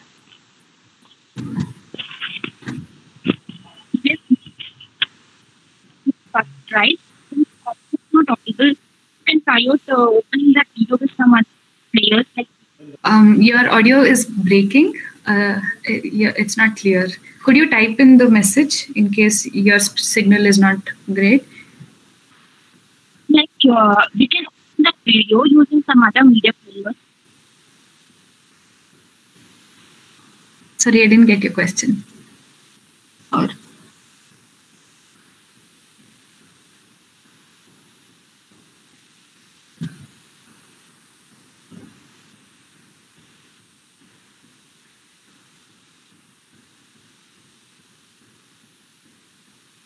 Hello, Rashmi.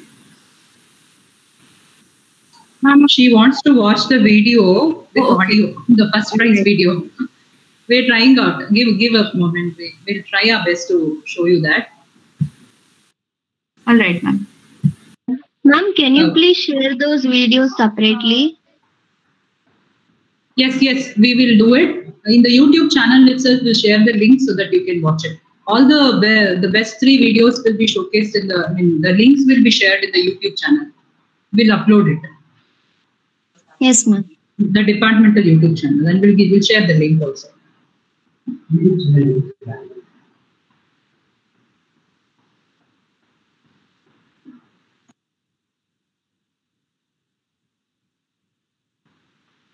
Students, don't log out. We'll be having the second session in a few moments. Uh, will be joining us in probably uh, another 10 minutes.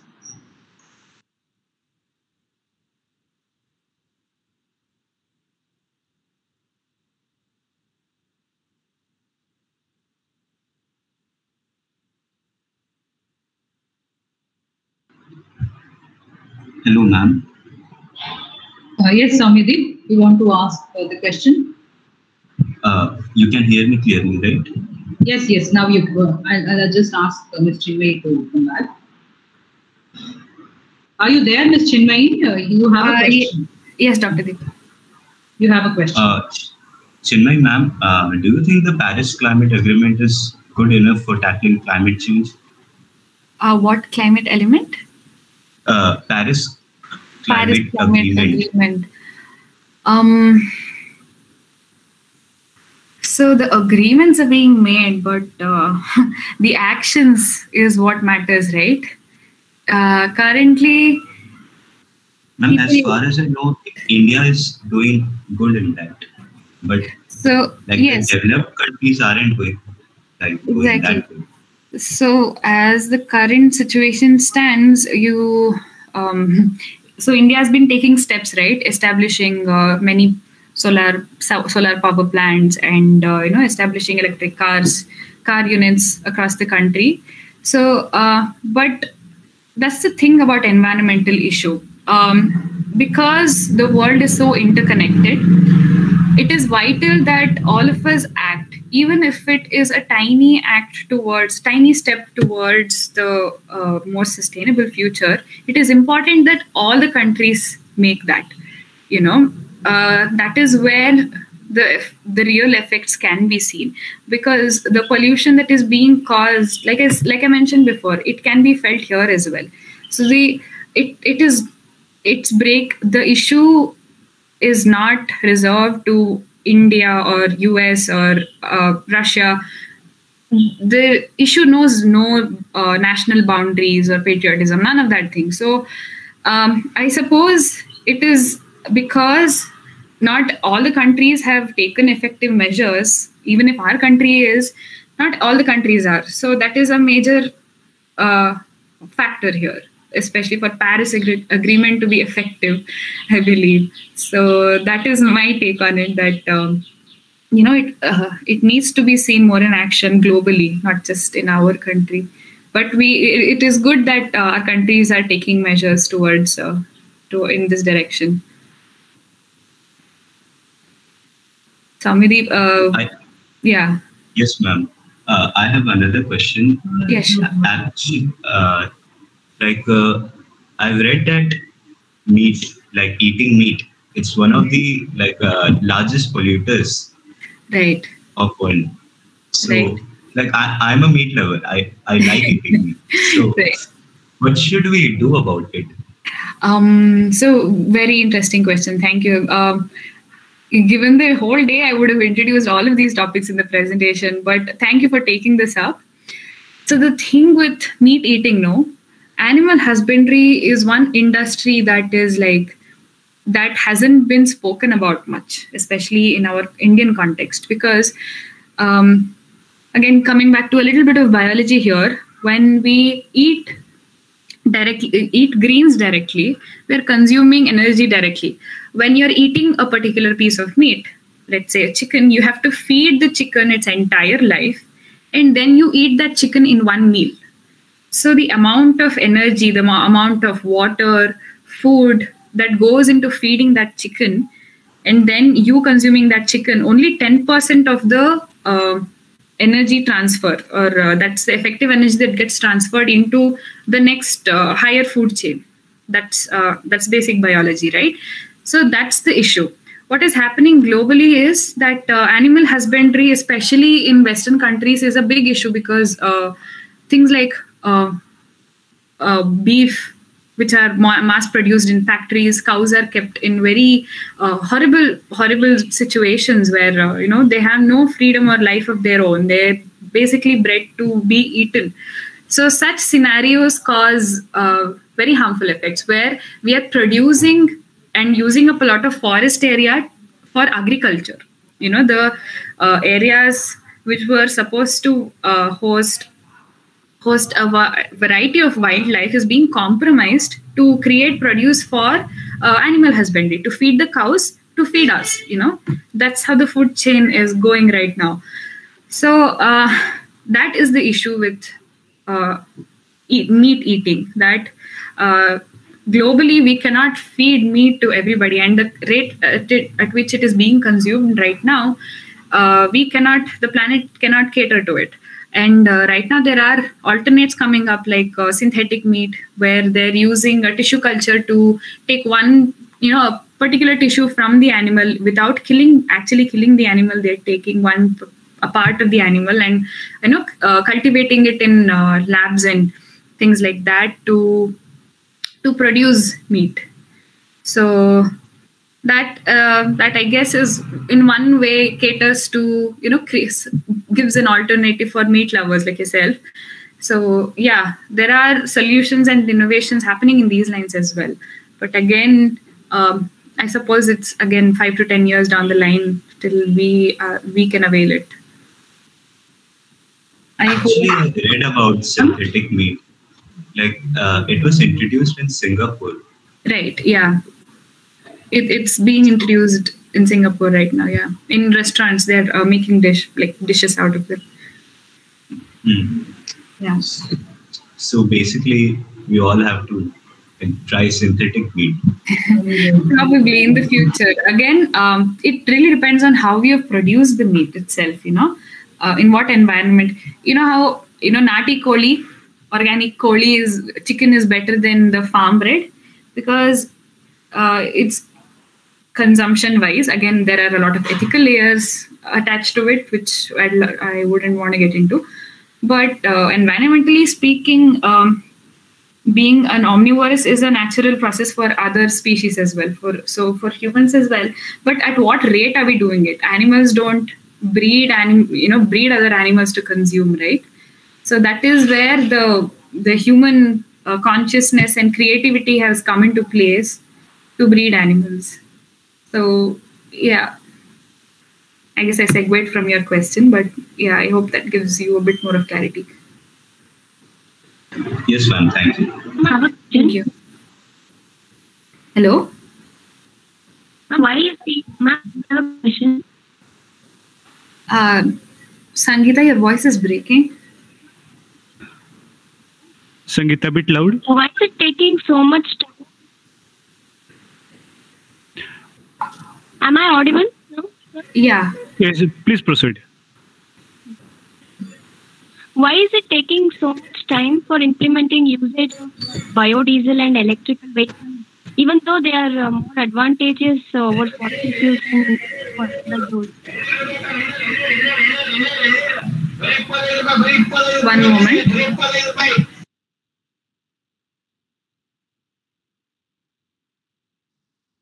I'm sorry for that disturbance in the background. So, we have to understand the setup that we are currently living in. Um, it is uh, there are a lot of layers of economics and social aspects connected to the issue of why it is not going forward, even though the innovation is there. We need to set up effective systems where biodiesel can be sourced and made viable for everybody to use. Uh, conventional, so this sort of innovation needs big investments, right? It either has to come from uh, administrative bodies like government, or which needs a lot of funding, or a private organization needs to take up, which is capable of providing that fund. So unless um, these things are made available for common people through these uh, enterprises, it is, you know, as common people, it is difficult for us to, you know, go and uh, make these things happen, especially when it comes to things like biodiesel, which requires huge setup. So I believe that is one reason the initiatives need to be taken from uh, the end of uh, big enterprises like that. Hello, ma'am. Uh, excuse me, one Hello? second. Uh, uh, Architect Nathan, uh, Professor Nathan, are you there? Have you joined? Yeah, go ahead. Uh, go ahead. Nidarsha, just ask a question. Yeah. ma'am. Ma'am, you explained about uh, various waste management processes. But what Right. about hazardous waste uh, produced in uh, hospitals? Uh, Right. For that, Um, now we are using uh, incinerators. Is there any alternative methods? So, when it comes to bio waste, right, the issue is a lot more layered because we always have the risk of the disease or the ailment spreading through various mediums. So, incinerating is like the most convenient and viable option that we currently have. And uh, what we can do with that particular option is mitigate the kind of pollution that is being caused. Um, you know instead of uh, I- i'm i haven't come across personally any other alternative options but uh, there was another entry in the competition which made use of pollution uh, carbon that is extracted from pollution. Uh, the innovation was uh, pioneered by anirudh sharma. Again um, so these are this is something this is uh, innovation incorporated into a problem you know. You are giving solution to a particular issue that is existing uh, instead of finding an alternative innovation. So i believe for medical waste in particular because it can be very risky to uh, bury it or leave it as such instead of without incinerating it. In my personal opinion making use uh, or finding less polluting options to incinerate it would be better but uh, if there is an alternative innovation coming up that would be great Yeah. i hope that answers your question Okay, ma'am. Thank you. Yeah. Okay, I think uh, we can stop at this moment. The other questions uh, we'll post her if you just uh, share it with us. Yeah, Uh, sure. uh, the first always- prize, uh, the first prize. Yeah, yeah. Please carry on, Mr yeah you can all i can leave my mail id uh, over here if if hello? you hello? Am i audible? Yeah madam you are audible madam. Yes so i'll just leave my email id here uh, if in case anybody wants to get in touch to know about any of these th- uh, techniques like any internships or if you want to carry these concepts forward you can always write to me. Um, Yeah, ma'am. Please uh, share your email ID. We'll just share it with the students. Yeah. Uh, the first prize video will be played uh, right now with audio. You've solved that.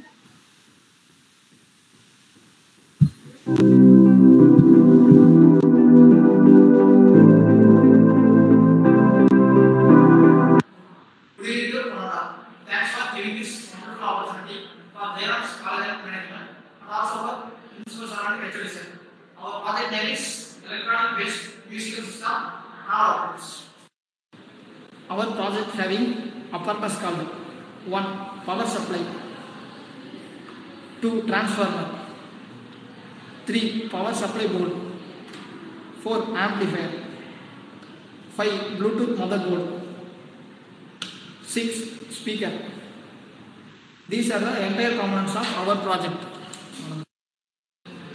Working principles of electronic waste music system. This is transformer. It is converted 240 volt to 12 volt. Next component called power supply board. This is also electronic waste material. In that case, power supply board connected into amplifying box. Simultaneously, the amplifier connected into Bluetooth box because of wireless connectivity.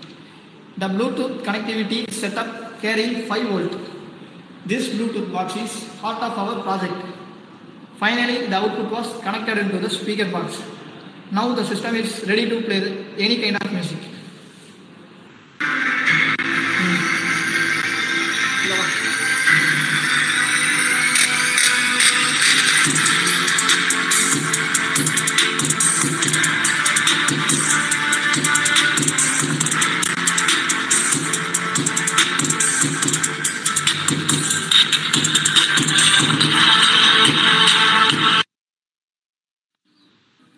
The major applications and advantages are first one is this is completely eco-friendly setup. Second one is this setup was fabricated by electronic waste components. So to reduce the electronic waste components in the way of this kind of recycling process. And the last one is to reducing the problems of electric and electronic wastage components. Finally, we got the music at wastage components at short time. Thanks for one and all.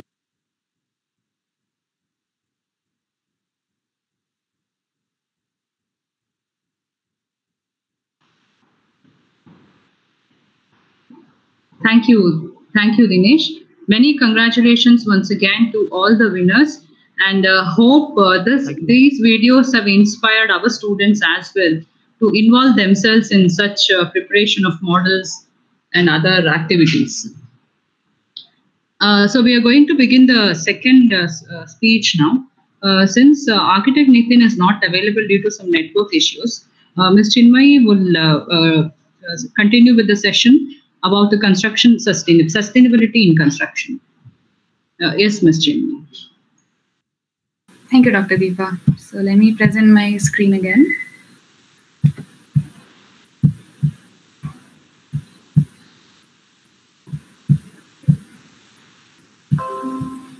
All right. Um, okay. Um, so I'll briefly like tell you how my journey as an architect was for you know just to be able to relate to it. Uh, in five years of architecture, we have uh, last year of internship, that is the practical training. And for four years or so, uh, it was mostly studio learning, where it was design and there wasn't much exposure towards uh, material that we use uh, in terms of what we build with. Uh, what we were taught was to use uh, cement and steel, which are conventional construction materials. So when it was time for my internship, I it, I fortunately came across this place called Auroville. I hope a lot of you have heard about it. It is in it is related close. It is sorry located close to Pondicherry, um, and it is an international township. Uh, the detail I won't get into the details of it. And uh, Sacred Groves is one community where uh, we are trying to build use alternate construction technology and eco-sensitive construction technology and promote community living. So here, uh, I personally got to experience construction firsthand, as in I got to be in the field and build with my own bare hands using natural materials like earth and uh, wood and lime and all of these things. So for me, uh, construction development and architecture made, made most sense when I got in touch with the field and material and the feel of things. So I'm very happy to share this journey with all of you. So just to address the basic principles of what uh, Sacred Grove stands for or how the community uh, is developing because it is an alternate model which can be implemented in other areas like in our cities bangalore mysore. So it is it focuses on developing high density housing or medium density housing which is again relevant to cities context. So that is why the uh, head architect architect manu gopal he chose a format of row housing which we usually uh, find here because there's not a lot of space in cities uh, the innovation made over there should not stagnate and be relevant only there it needs to be able to carry forward elsewhere, right? So having a common wall between the houses and um, uh, would would create would uh, save on space as well. The idea was to incorporate uh, forest and farming within the housing community, in the sense that uh, everything that you need to live and sustain sh- should be available to you in the community itself. Uh, basically, we are aiming at a self-sustaining community living. So this is a conceptual diagram of how the construction would uh, go ahead. Um, in case you you have a doubt about any technical term that I mentioned, please feel free to stop and ask right then and there because it, it needs to make sense for everybody. All right, so in this conceptual model, we see a, a medium density format of housing where uh, this is a sectional view. If you can see the systems mentioned here, um, we are looking at energy effective building systems, not just construction process, but in the functioning of the system. Because um, when we say a building, uh, it has services attached to it like water, electricity, and uh, we have other things like sewage water going out of the houses and our bathrooms. So all of these are the factors that uh, that we are taking into consideration while designing itself. So for energy production, we have solar panels on the rooftop, and uh, on top left corner you can see passive cooling, which is essentially uh, a way of cooling buildings uh, without having energy input. Like usually, conventionally, what we see outside is we use ACs to cool buildings, right? So, but uh, you might have heard about the ill effects that AC air conditioning has on the planet as well as your own health. It is very hazardous. So, what we are looking at is design techniques to ensure that the building is being cooled. And of course, there's a lot of planning aspect involved where the, there's greenery situated in front of the house to regulate the immediate surrounding of the houses. And to give you a climate context of Auroville, uh, it is it is hot and humid. So in summertime now that the summer is beginning, it gets really hot. Uh, it reaches around 34 to 37 degrees as well. So uh, we need to have cooling agents all around. And below, if you can see, there is rainwater harvesting, which is uh, which we aim at depending on because there is uh, we want to be self-reliable in these terms as well, as well as food production units right around the area. So this is the basic concept of the house. And um, this is the set of prototype houses which are built, and these structures are completely made of earth, raw earth construction, uh, mud. And the plastering, the white finish you see, is made of lime, limestone, that is, so which is actually uh, very traditionally, if you consider Roman construction, lime was a very important aspect very important cementing agent. And uh, the advent of cement happened because of lime. Lime is a base material for production of cement. But again, going to carbon footprint, the carbon footprint of lime is way, way, way less than cement. So, uh, and again, lime has its own uh, thermal properties, which are very good for human health as well. So, and it is also built using timber, local timber, which is locally sourced, as in we need to see what is available in the region. So in Pondicherry region, palm wood and coconut wood is something that is uh, abundantly available. So we've used palm and coconut wood here. And uh, all the three floors are built with um, mud construction. And, and the structure you see in the front are the rainwater harvesting tanks. So um, the idea is that the rainwater which is collected on the rooftop during the monsoon seasons will get collected inside the tank and throughout the year it will be used for miscellaneous activities like bathing and bathing washing and for drinking and cooking which is around only 5 liters per per day per person in terms of water consumption we want to rely on precious groundwater which is uh, not polluted so this is a bit about planning and creating microclimate since we are uh, think a bit tight on time. Uh, so the idea here is uh, when we are planning a particular building, we create a microclimate around it to regulate the temperature and my uh, temperature around and atmosphere around the building. That is the basic idea here. This is a roof plan view of the of the three houses that we saw here. This is without any uh, buffers around. We say spatially buffers in the sense that it is not directly open, but it has these structures like this. This is the water tank structure. And in the future, it is intended to have plants growing on it, a layer of uh, soil and vegetation happening around. What that does is because plants undergo perspiration, there are water vapors which regulate the microclimate and brings down the temperature. So that is one planning aspect that uh, we looked into. Again, this is the working section of uh, how the houses would function on the long run, where we see from the rooftops, we have gutters and pipelines connecting into the water tanks. And uh, we want to have proper uh, proper soil layers and uh, buffers and create a vegetation on top of the water tank so that it is again it is nice to have greenery around you as well as um, you know it, it, it can be a source of food production. You can grow banana papaya whatever. And on the north end so in the plan uh, the north is on the top and north side of the side gets heated up quite often.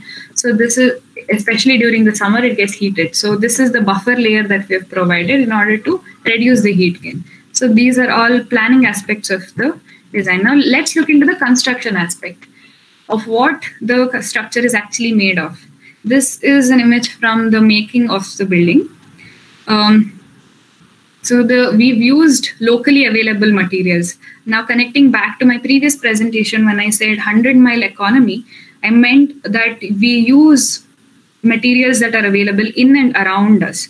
So, which effectively means so- soil from the site itself and uh, lime from Sidarpet area, which is, uh, I think, 40 kilometers from uh, Puducherry or probably less. Uh, correct me if I'm wrong. And local palm wood and uh, upcycled materials as well. So, if you can see this particular bottom layer, bottom uh, front balcony portion, it has lines, right? So, that particular construction technology is called earth concrete technology, where it uses um, construction and demolition waste. We'll get into that later. And we've used uh, upcycled materials like uh, petrol hose pipes. So, uh, so there's one corporation in the country which makes petrol hose pipes called Mitco. They approached us saying um, we we do not want to burn petrol hose pipes. What usually happens to them is you cannot use them after a year of uh, its life in petrol bunk. So a lo- large number of petrol hose pipes get discarded into the uh, discarded, and what people do is they burn the rubber around. So it has a metal bracing on the inside and a rubber uh, sheath. So when they burn rubber, they, it produces toxic gases. They burn the rubber and uh, get the scrap metal, sell it for whatever money people get. That's how they deal with this particular waste, which is a very toxic way of dealing with it. So we wanted to see if we can make use of it in construction, find an alternative use. So this is a classic example of upcycling. Uh, actually not classic an unconventional uh, innovative way of upcycling a particular material finding an alternate use for it so the this is how the walls are built. This is a basic technique called cob cob is nothing but a lump any lump. So in this particular context it means a lump of soil.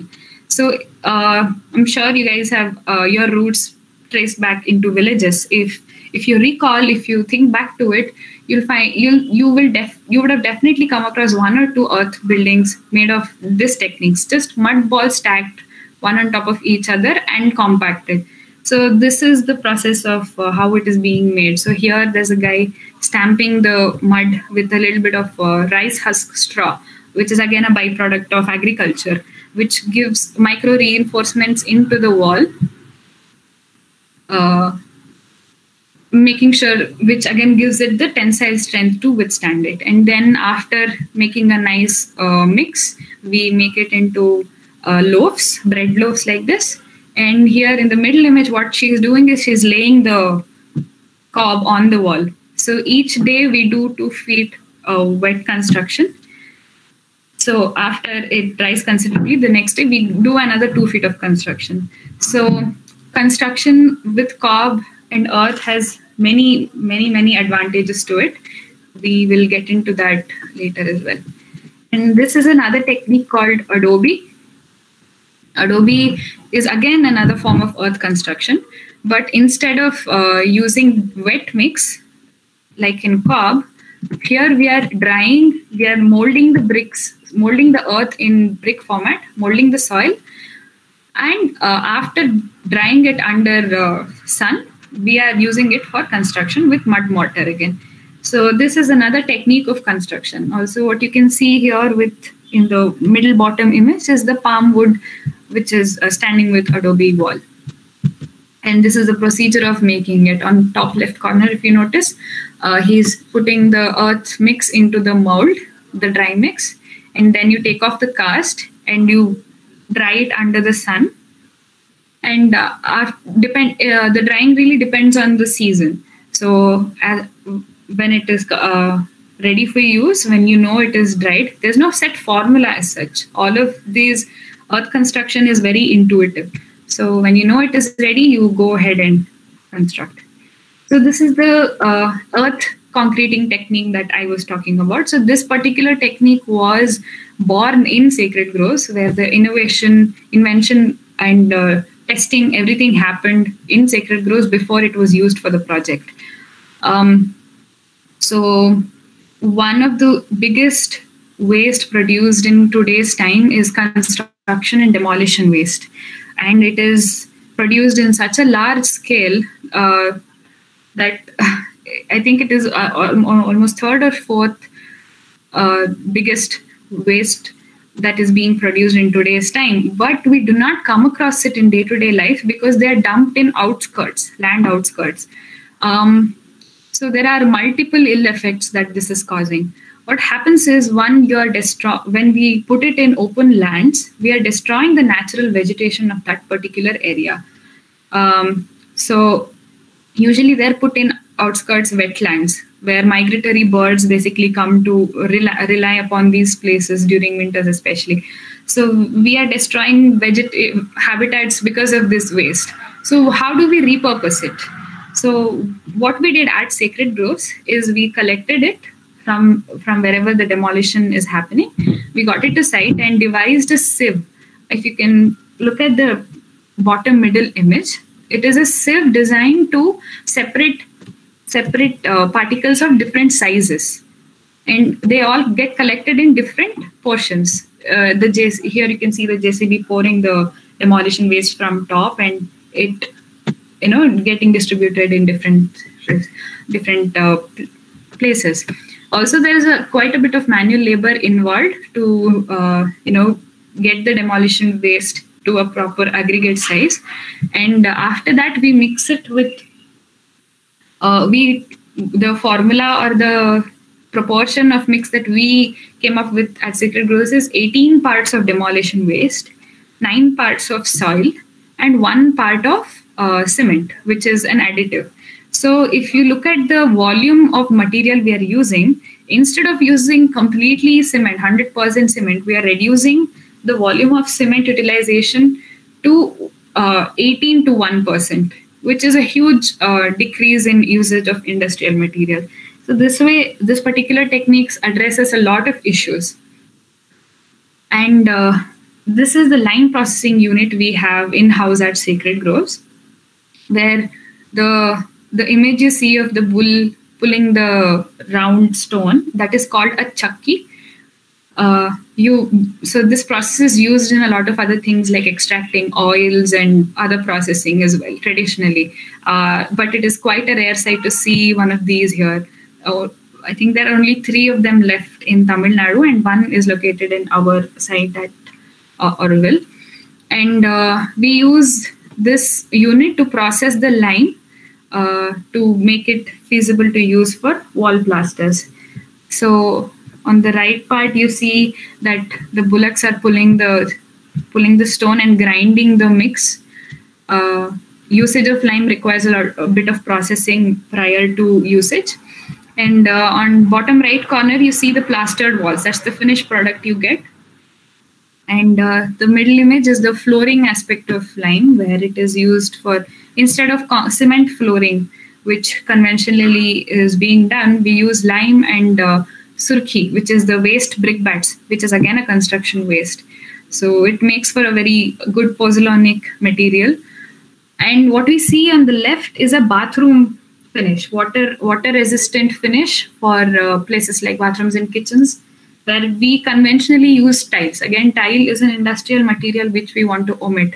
So this particular plaster is called Araish, uh, which has a reflective finish and uh, it does not. It is impervious to water, but it allows gases to pass through it. So what you see below is the is the processing. You have to manually grind the mix before you apply for the plaster. Um, yes, at this point, do you guys have any questions? Because uh, I understand that for a lot of you, construction can be a bit out of context. Please uh, ask if uh, there are any questions. And another material is timber. Like I mentioned before, coconut and palm are uh, indigenous to Tamil Nadu region. So maybe if we are constructing in Karnataka, we would use something else.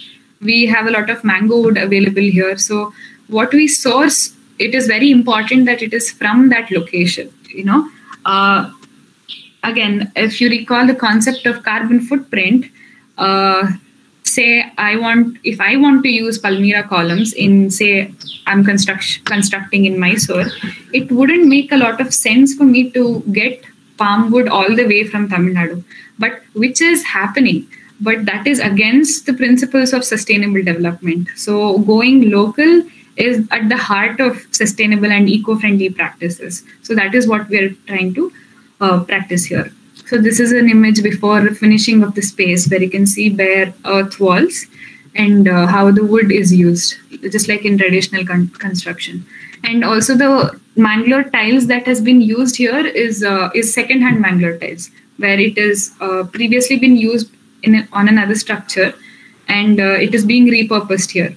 Uh, you might ask questions about the strength of repurposing, but in case of construction materials, when you are able to use it for a second time, it means that its seasoning is properly done. It's it has stood the test of time, and that it is a strong material. So repurposing uh, tiles and even wood, for that matter, is quite a common and eco-friendly practice in construction. And these are a few finished images of the project. Uh, this is of the middle house. With this has a mud flooring again and Palmyra wood uh, door, Palmyra wood beams on the top and coconut planks. And you can see on the right there is a stone lintel instead of a metal one that you see uh, these days.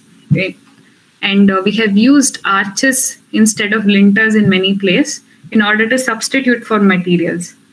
And what you see here below again is the inbuilt furniture uh, which also doubles up as a storage place. And uh, again, this is another view where you have inbuilt storage shelves and uh, projected chhajas where you can also sit and probably read a book. It's a very nice spot. And the false ceiling you see on top is also made of bamboo mats, bamboo mats which has a lime wash on it. So these are the things that we can alternate with uh, synthetic products of in today's market. Like we have a lot of POP and epoxy and all of these things. What we do not realize is on the long run, these things have detrimental effects on our health. Um, so going for a natural alternative is uh, it has multiple benefits to it. One, it has better thermal uh, cooling. Again, since these are mud walls and covered with lime plasters, they have very good insulating properties to them. So even though the temperature outside, I, I have lived in this particular space, I've stayed there, and even though it was like 36 degrees outside, I would feel comfortable sitting on the inside of this house because mud walls are usually quite thick and have a good thermal uh, thermal capacity to contain heat and slowly release it, as opposed to cement buildings which which do not give that kind of insulation. So climatologically speaking, as well, um, earth construction becomes very relevant. Also, if we look into the indigenous practice of that place, you know, before we started using uh, industrial materials like cement, cement and steel, uh, people built earth, uh, earth houses. People built with mud with their own hands and for each other. So that's the practice that we're trying to perpetuate, uh, retaining the indigenous local practices. This is another image from the common veranda of the three houses. So previously we saw the front of the house. This is the back of the house. Again, these are Palmyra columns and uh, stone flooring here, which is used. This, this serves as a common interaction space for people. And uh, this is a beautiful mural made on the outside of the wall. This mural is made of mud and plastered with lime plaster again. So while working with natural materials, especially mud, it gives you an artistic liberty. When we are, if you have, if you're familiar with site work, if you are using cement, it, the material itself sets a lot faster.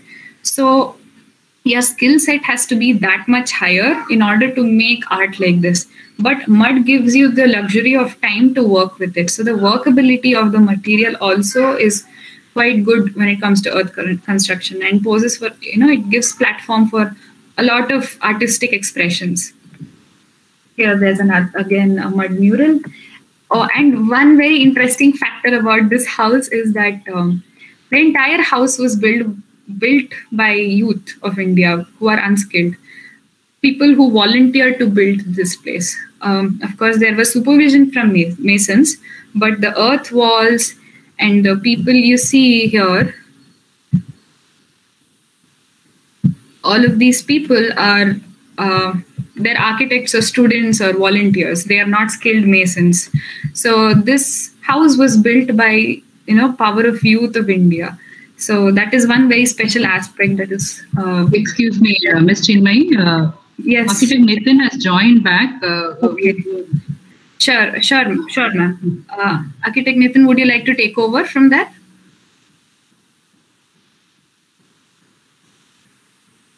Nathan? I just spoke to him just a moment. All right. So while we have the time, if you have any questions, please shoot. Um, I think we can utilize this time.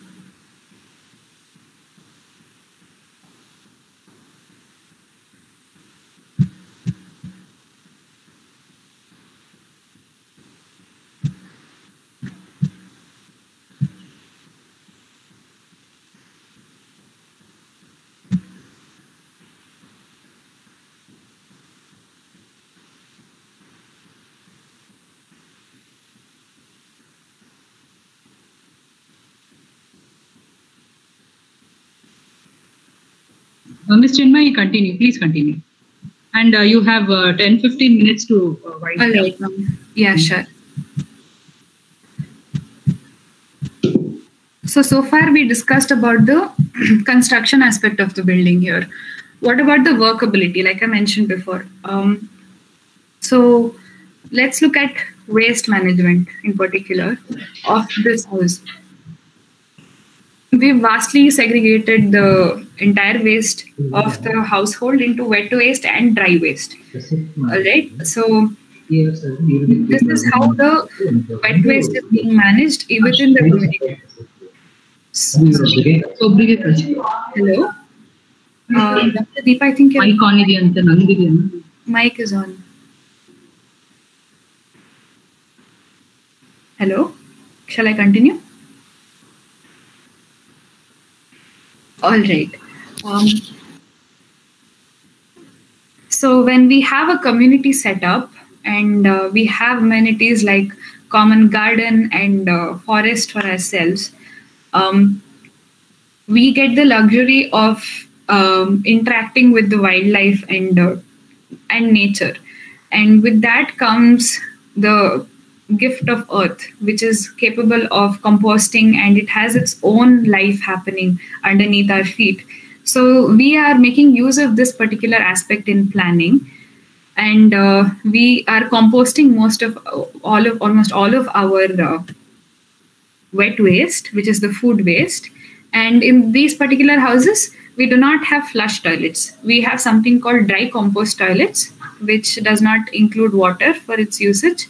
Um, so the feces is collected in compost pits. The houses, the house planning is designed for this particular usage, and uh, there is no black water being produced. So when we say sewage, there are two types of uh, sewage that goes out of the house. One is black water from your toilets, and the other one is your kitchen and shower waste. So we are aiming at treating the shower waste within the site using uh, decentralized waste management systems. Um, so this way, what we're trying to do is not let the water or any of the waste out of the house so that it does not become a burden on another system. And when it comes to dry waste management, again, we follow the principle of reuse, upcycle, or recycle, which we've discussed earlier.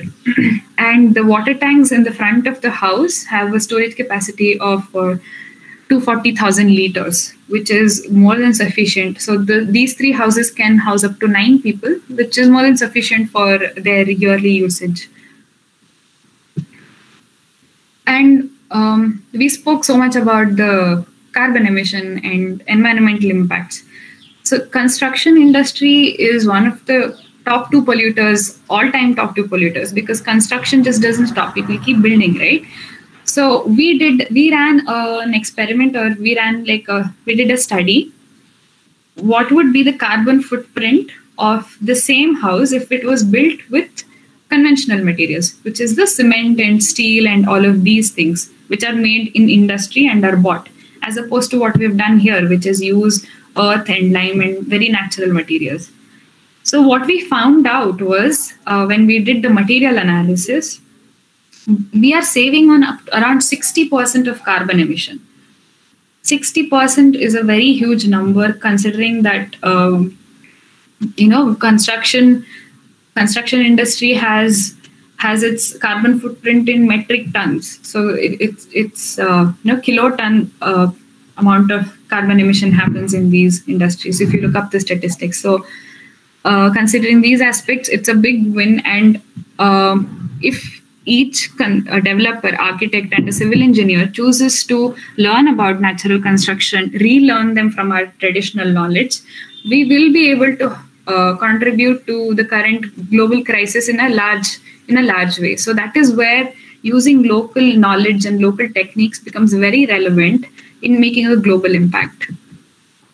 So. Uh, this is the biology aspect of how we are managing or how the building becomes eco-friendly where the carbon is uh, so when it comes to wood we call wood carbon bank because throughout its life cycle it keeps uh, taking in carbon dioxide and gives out oxygen right? So it is a carbon capturing system in itself.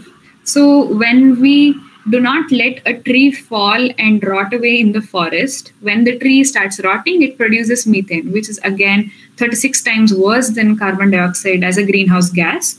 So, when we use uh, wood or timber in construction, um, we are essentially capturing the carbon and petrifying it and using it using it for something else so instead of letting the trees decay or uh, catch forest fires using timber sensibly using timber not in large scale way where there's nothing left to left for the next generation but sensibly using timber in construction avails for something really really good. And uh, this is another micro project that is in the sacred in sacred groves this dormitory is completely built with uh, palm wood using all the components of palm. If you've seen a palm tree there is a stem that connects the leaf to the trunk of the tree. So what you see on the right top corner here are the palm stems which are used as partition walls for the uh, for the walls. And uh, the tree trunks are made of palm and the steps all of that. So this particular dormitory holds up to 20 people uh, 20 people. And um, so with all of these innovations and reinventing techniques what we're essentially trying to do is go back to a time of construction where people built for each other in a very uh, in a very nice way where construction was a communal activity. In today's context if you want to build if say uh, i want to build a house right now i decide to build a house. If i am not financially well off i have to start thinking about housing housing loans and uh, the cost that construction would incur. So um, and of course there's uh, there are things like pollution and mining which we've already spoken a lot about. So there was one attempt to revive the old technique of construction where communities built for each other and we called that build free. So this is a common communal scene that uh, we see at sacred groves where we uh, meet and uh, work together in workshops and things like that so this particular event uh, focused on inviting people to build with us and making it into a festival where people, if you've seen pottery, you keep stamping and you have a lot of fun with them, right? So that is how the whole atmosphere was when everybody was building with us and there were children and music and food and art everywhere. So, um, so this is the house that continued construction where a lot of volunteer energy went into construction and there was very minimal investment. So everything the house is built with is procured from in and around the house. And uh, this is a house called, we call it uh, One Love House because uh, uh, it all, the reason for its, because it is standing is the love and energy that people have put. So if you can see, you can see the bare structure here. It is made of earth, bamboo, and uh, you can see the finished structure here which is covered with lime and if you notice the front uh, front window here we have utilized scrap metals scrap metals to give a grill instead of using fresh metal which is what we usually have in our home windows and for windows here we is it is made of uh, bamboo completely made of bamboo. So and uh, these are a few images of the interior of the house um, where the flooring if you notice it is made of made of repurposed stone like the kadapa stone which are cut and which are which are usually not used for mainstream construction. We have repurposed it by placing it in mosaic format.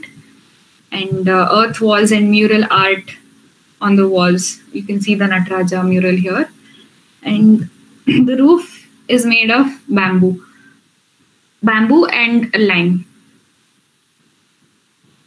Here you can see the middle image. This is the this is the bathroom wall. It looks extremely fancy, but this is the bathroom wall made of waste mirror, broken mirror pieces, and uh, stained glass pieces. And the bottom surface is against the again the same plaster I mentioned before, the smooth lime plaster.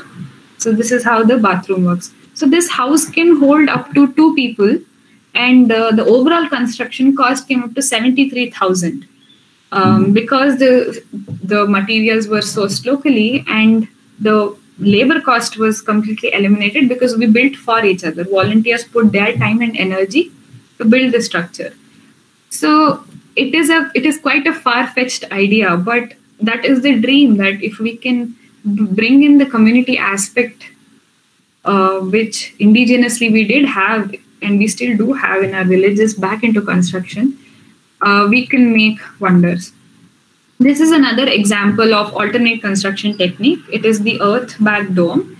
Uh, so what we do here is we are upcycling cement waste cement bags. We are taking the empty cement bags. If you notice the bottom right image here, we are filling it with a mixture of soil and and ramming it, laying it layer wise and ramming it.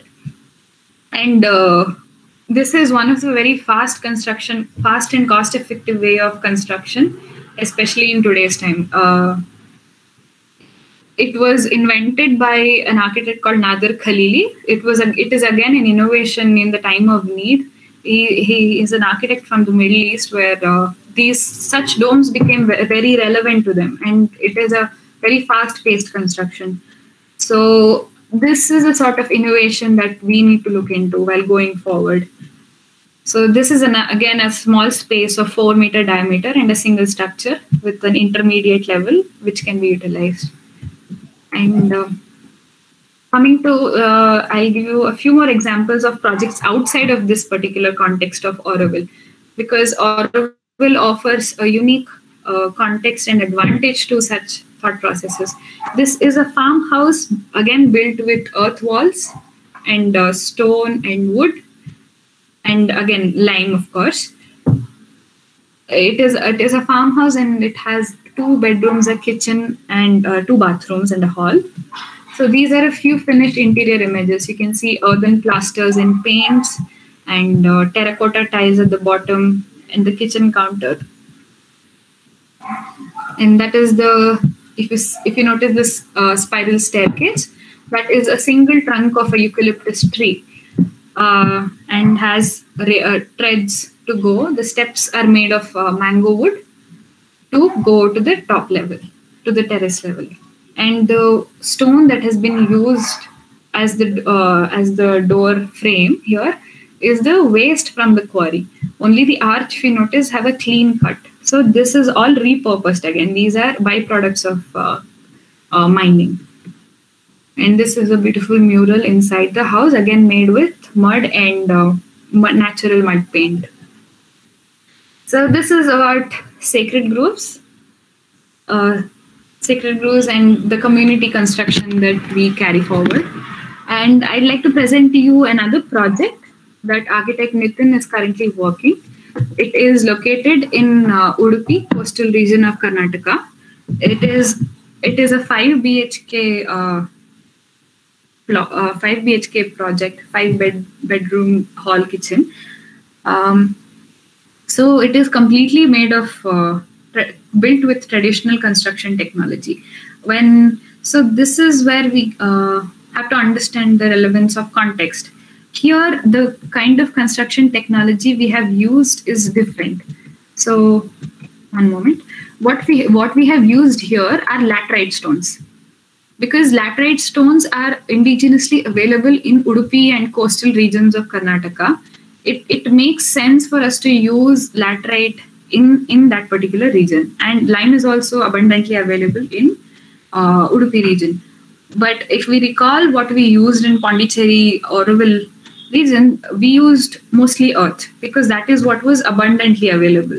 So what is locally available is something that we need to aim to utilize. So coming into construction techniques, this is the view from far. This is the street view. And yeah, so the foundation is made of uh, granite stone to give a good compressive strength and lime mortar, lime mortar again. So the processing of lime is very important. Uh, when it comes to uh, lime in construction, it is very important to understand the science behind it. What we are essentially trying to do with lime is we get lime in various forms, in form of limestone from the earth when we mine it, or we get it in the form of seashells from the from the coast. So since in this particular context it is close to coast, our source of lime was seashells, and we process it with uh, sand, sand as well as uh, additives like jaggery. Yes, the jaggery that we eat at home, uh, you know, as a substitute for sugar. That as well as bael fruit. So when it comes to natural construction, um, different regions adapt eh, depending upon the resources and materials that is that that particular place is enriched with. So if we consider similar construct, same lime ut- utilization somewhere in North North India, the recipe for this particular uh, technique would be different for using lime water. So when it comes to natural construction and alternate construction, uh, working with your hands and having that on-site experience becomes very important. So this particular, what is happening in this image is they've let the, they have a mixture of lime ready and they are uh, fermenting the lime for for around two weeks. We have to ferment it, depending again depending on the weather condition. After which we can use it for uh, construction. And here we have used it as mortars between the uh, between the stones for uh, as an adhesive. And uh, another major material used in this project is uh, timber. And the timber here used is all repurposed timber. Um, there are a lot of buildings that are being taken down in uh, you know in village regions these days. And what happens to the material which come out when we demolish it? We saw the demolition waste from cities, which we have tried to repurpose. And when it comes to old houses where they have beautiful uh, wooden columns present, we try to use it again, reuse it in in newer projects that can also be done. So this is like uh, us getting a load of uh, timber for the construction site, repurposed wood. So this is how the wood again is uh, processed because because it is old wood, it needs a bit of uh, planing and cleaning up.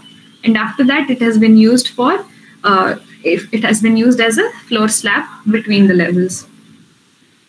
And uh, this again is red oxide technique which you will notice usually in older houses. But fortunately uh, the masons that were that got involved in this project were heritage masons who who had the indigenous knowledge still intact so when it comes to construction and you want to do natural construction that is the biggest issue that we face that there are there's nobody that knows the technique of using natural materials. But uh, again we need to do our research and uh, follow up with people who are conserving techniques. So that was a lot of work that architect nitin had, had uh, put in to make this project happen and find the right people to work with.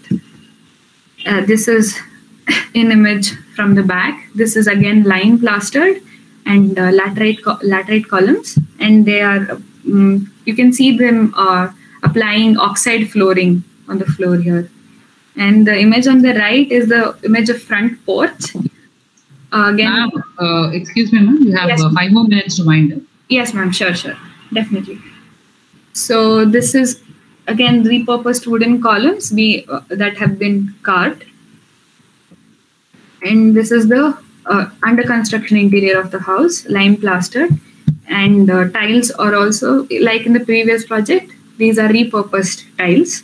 And we can see wooden frames and doors and windows.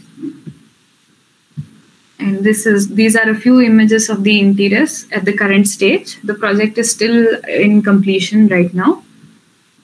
Um,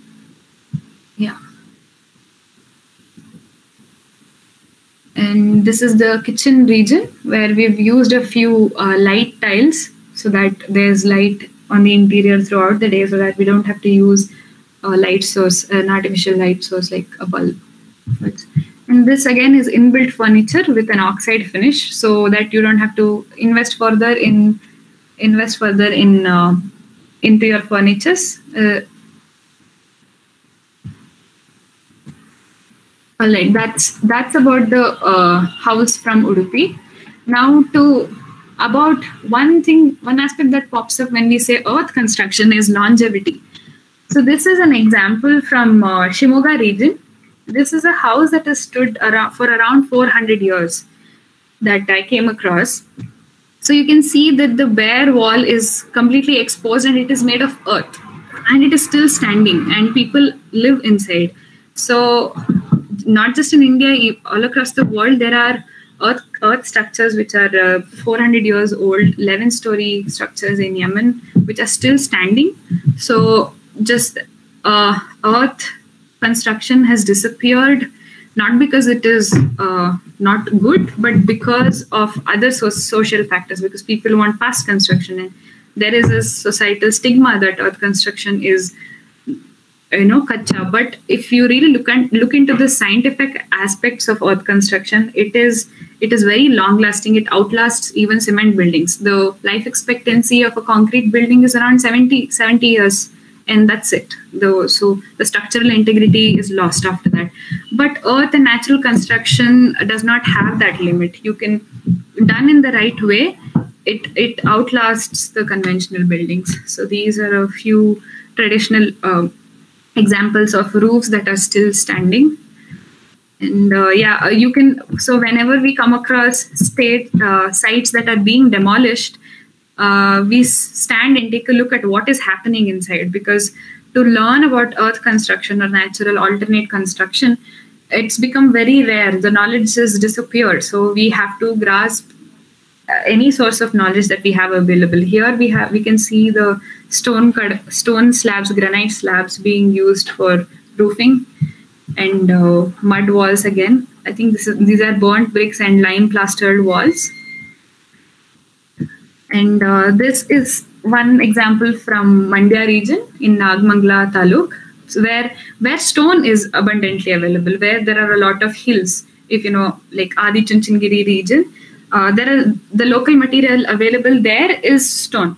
So, like we saw in different contexts, in Udupi we used laterite stone, in Pondicherry we used earth.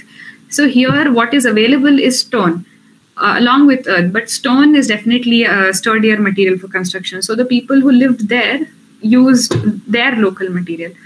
So these are a few images from that. And I think that's the end of the presentation about construction. Thank you. Uh, thank you, Ms. Chinmay. Students, you have any questions? So I have a basic question uh, to you uh, regarding this. Uh, will there be any uh, revolution going to happen in another 10, 15 years in the construction? Because uh, whatever methods you said, people uh, uh, are not educated about all these things. And as you told, uh, they want fast construction. They'll have to finish off it early, quickly. Uh, so there is a way to teach people or educate people about this, right?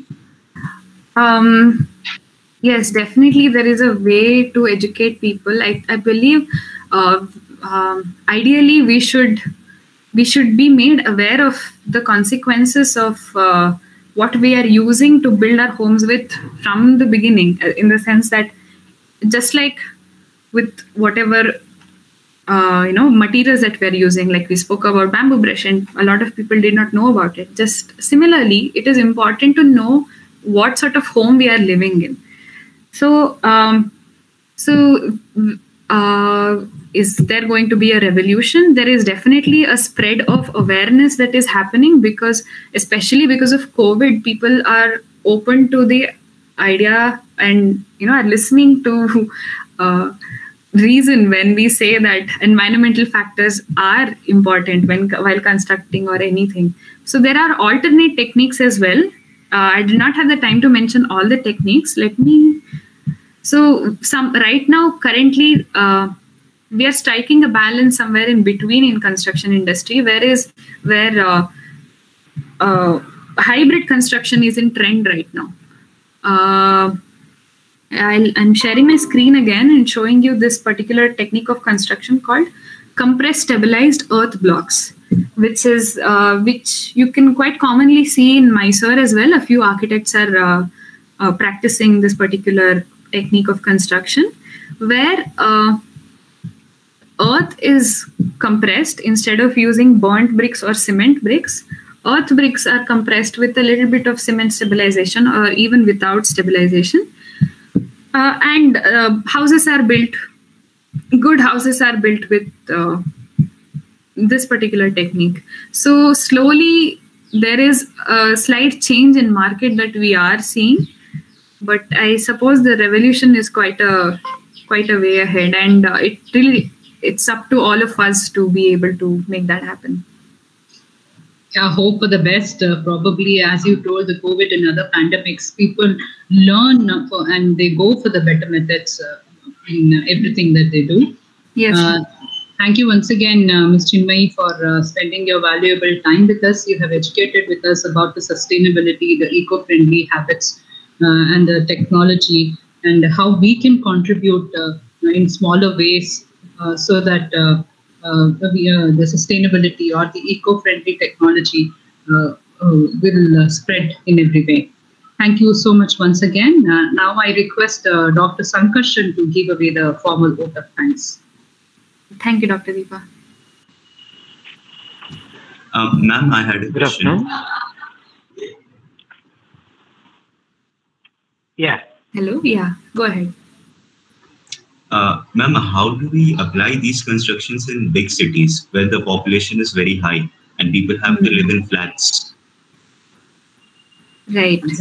So that's where innovation comes into picture again. We have quite a long way to go there. But uh, currently, what is happening is uh, if you notice column structures, most of the high skyscraper structures are column and frame structures. I hope you understand what I mean. Um, so the um, so the load bearing aspect of the structure is made with cement and steel, but the wall in between can still be made of earthen materials can still be substituted substituted with the materials which have low embodied energy and eco-friendly materials so uh, i understand that it uh, the city context can be quite challenging but uh, that that's what we need to work towards. So like i said you can have different types of partition walls in between in such context where the structure is taken care of but in on the interior you're trying to use something that is more eco-friendly and nature friendly so that is one aspect that you can do. It really depends on the context that you're working in when it comes to uh, natural construction alternate construction I, Okay, thank you. thank you Samidev. So if there are no questions, let us conclude with a formal vote of thanks. A warm and graceful morning to everyone. It's a great privilege to propose vote of thanks. So now we are uh, we are honored to have amongst us architect Chinmay MS as our guest of honor and the speaker of today's function. On behalf of NIE, I extend sincere thanks to you, madam. Thank you, madam. thank you very much for the opportunity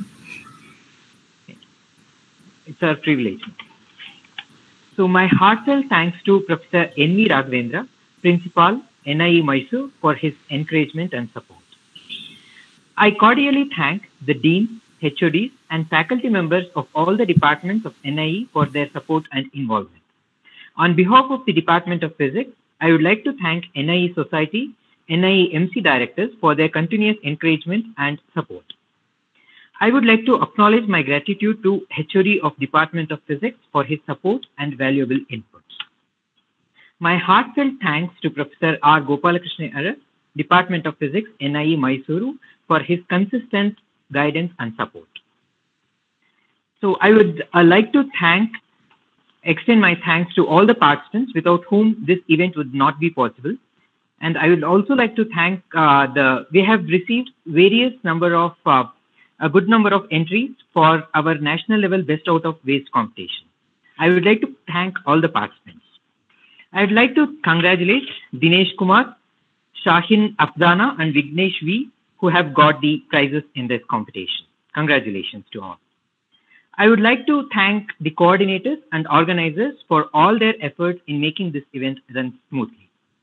I would also like to thank the YouTube live stream viewers of this function. Once again, thank you. Thank you.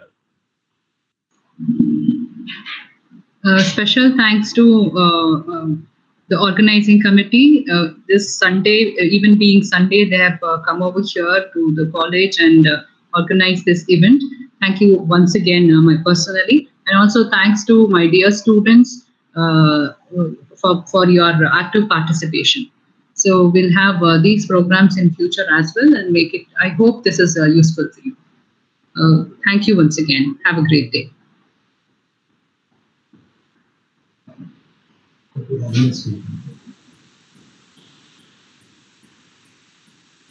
Uh, there is a small announcement. Those who have actively participated in this event, please do fill the feedback form. You will be getting the participation certificate. And uh, for uh, those who have got the prizes, we will be sending the receipt and also the certificate to your email ID. Okay, thank you. Thank you, one and all. Have a great day.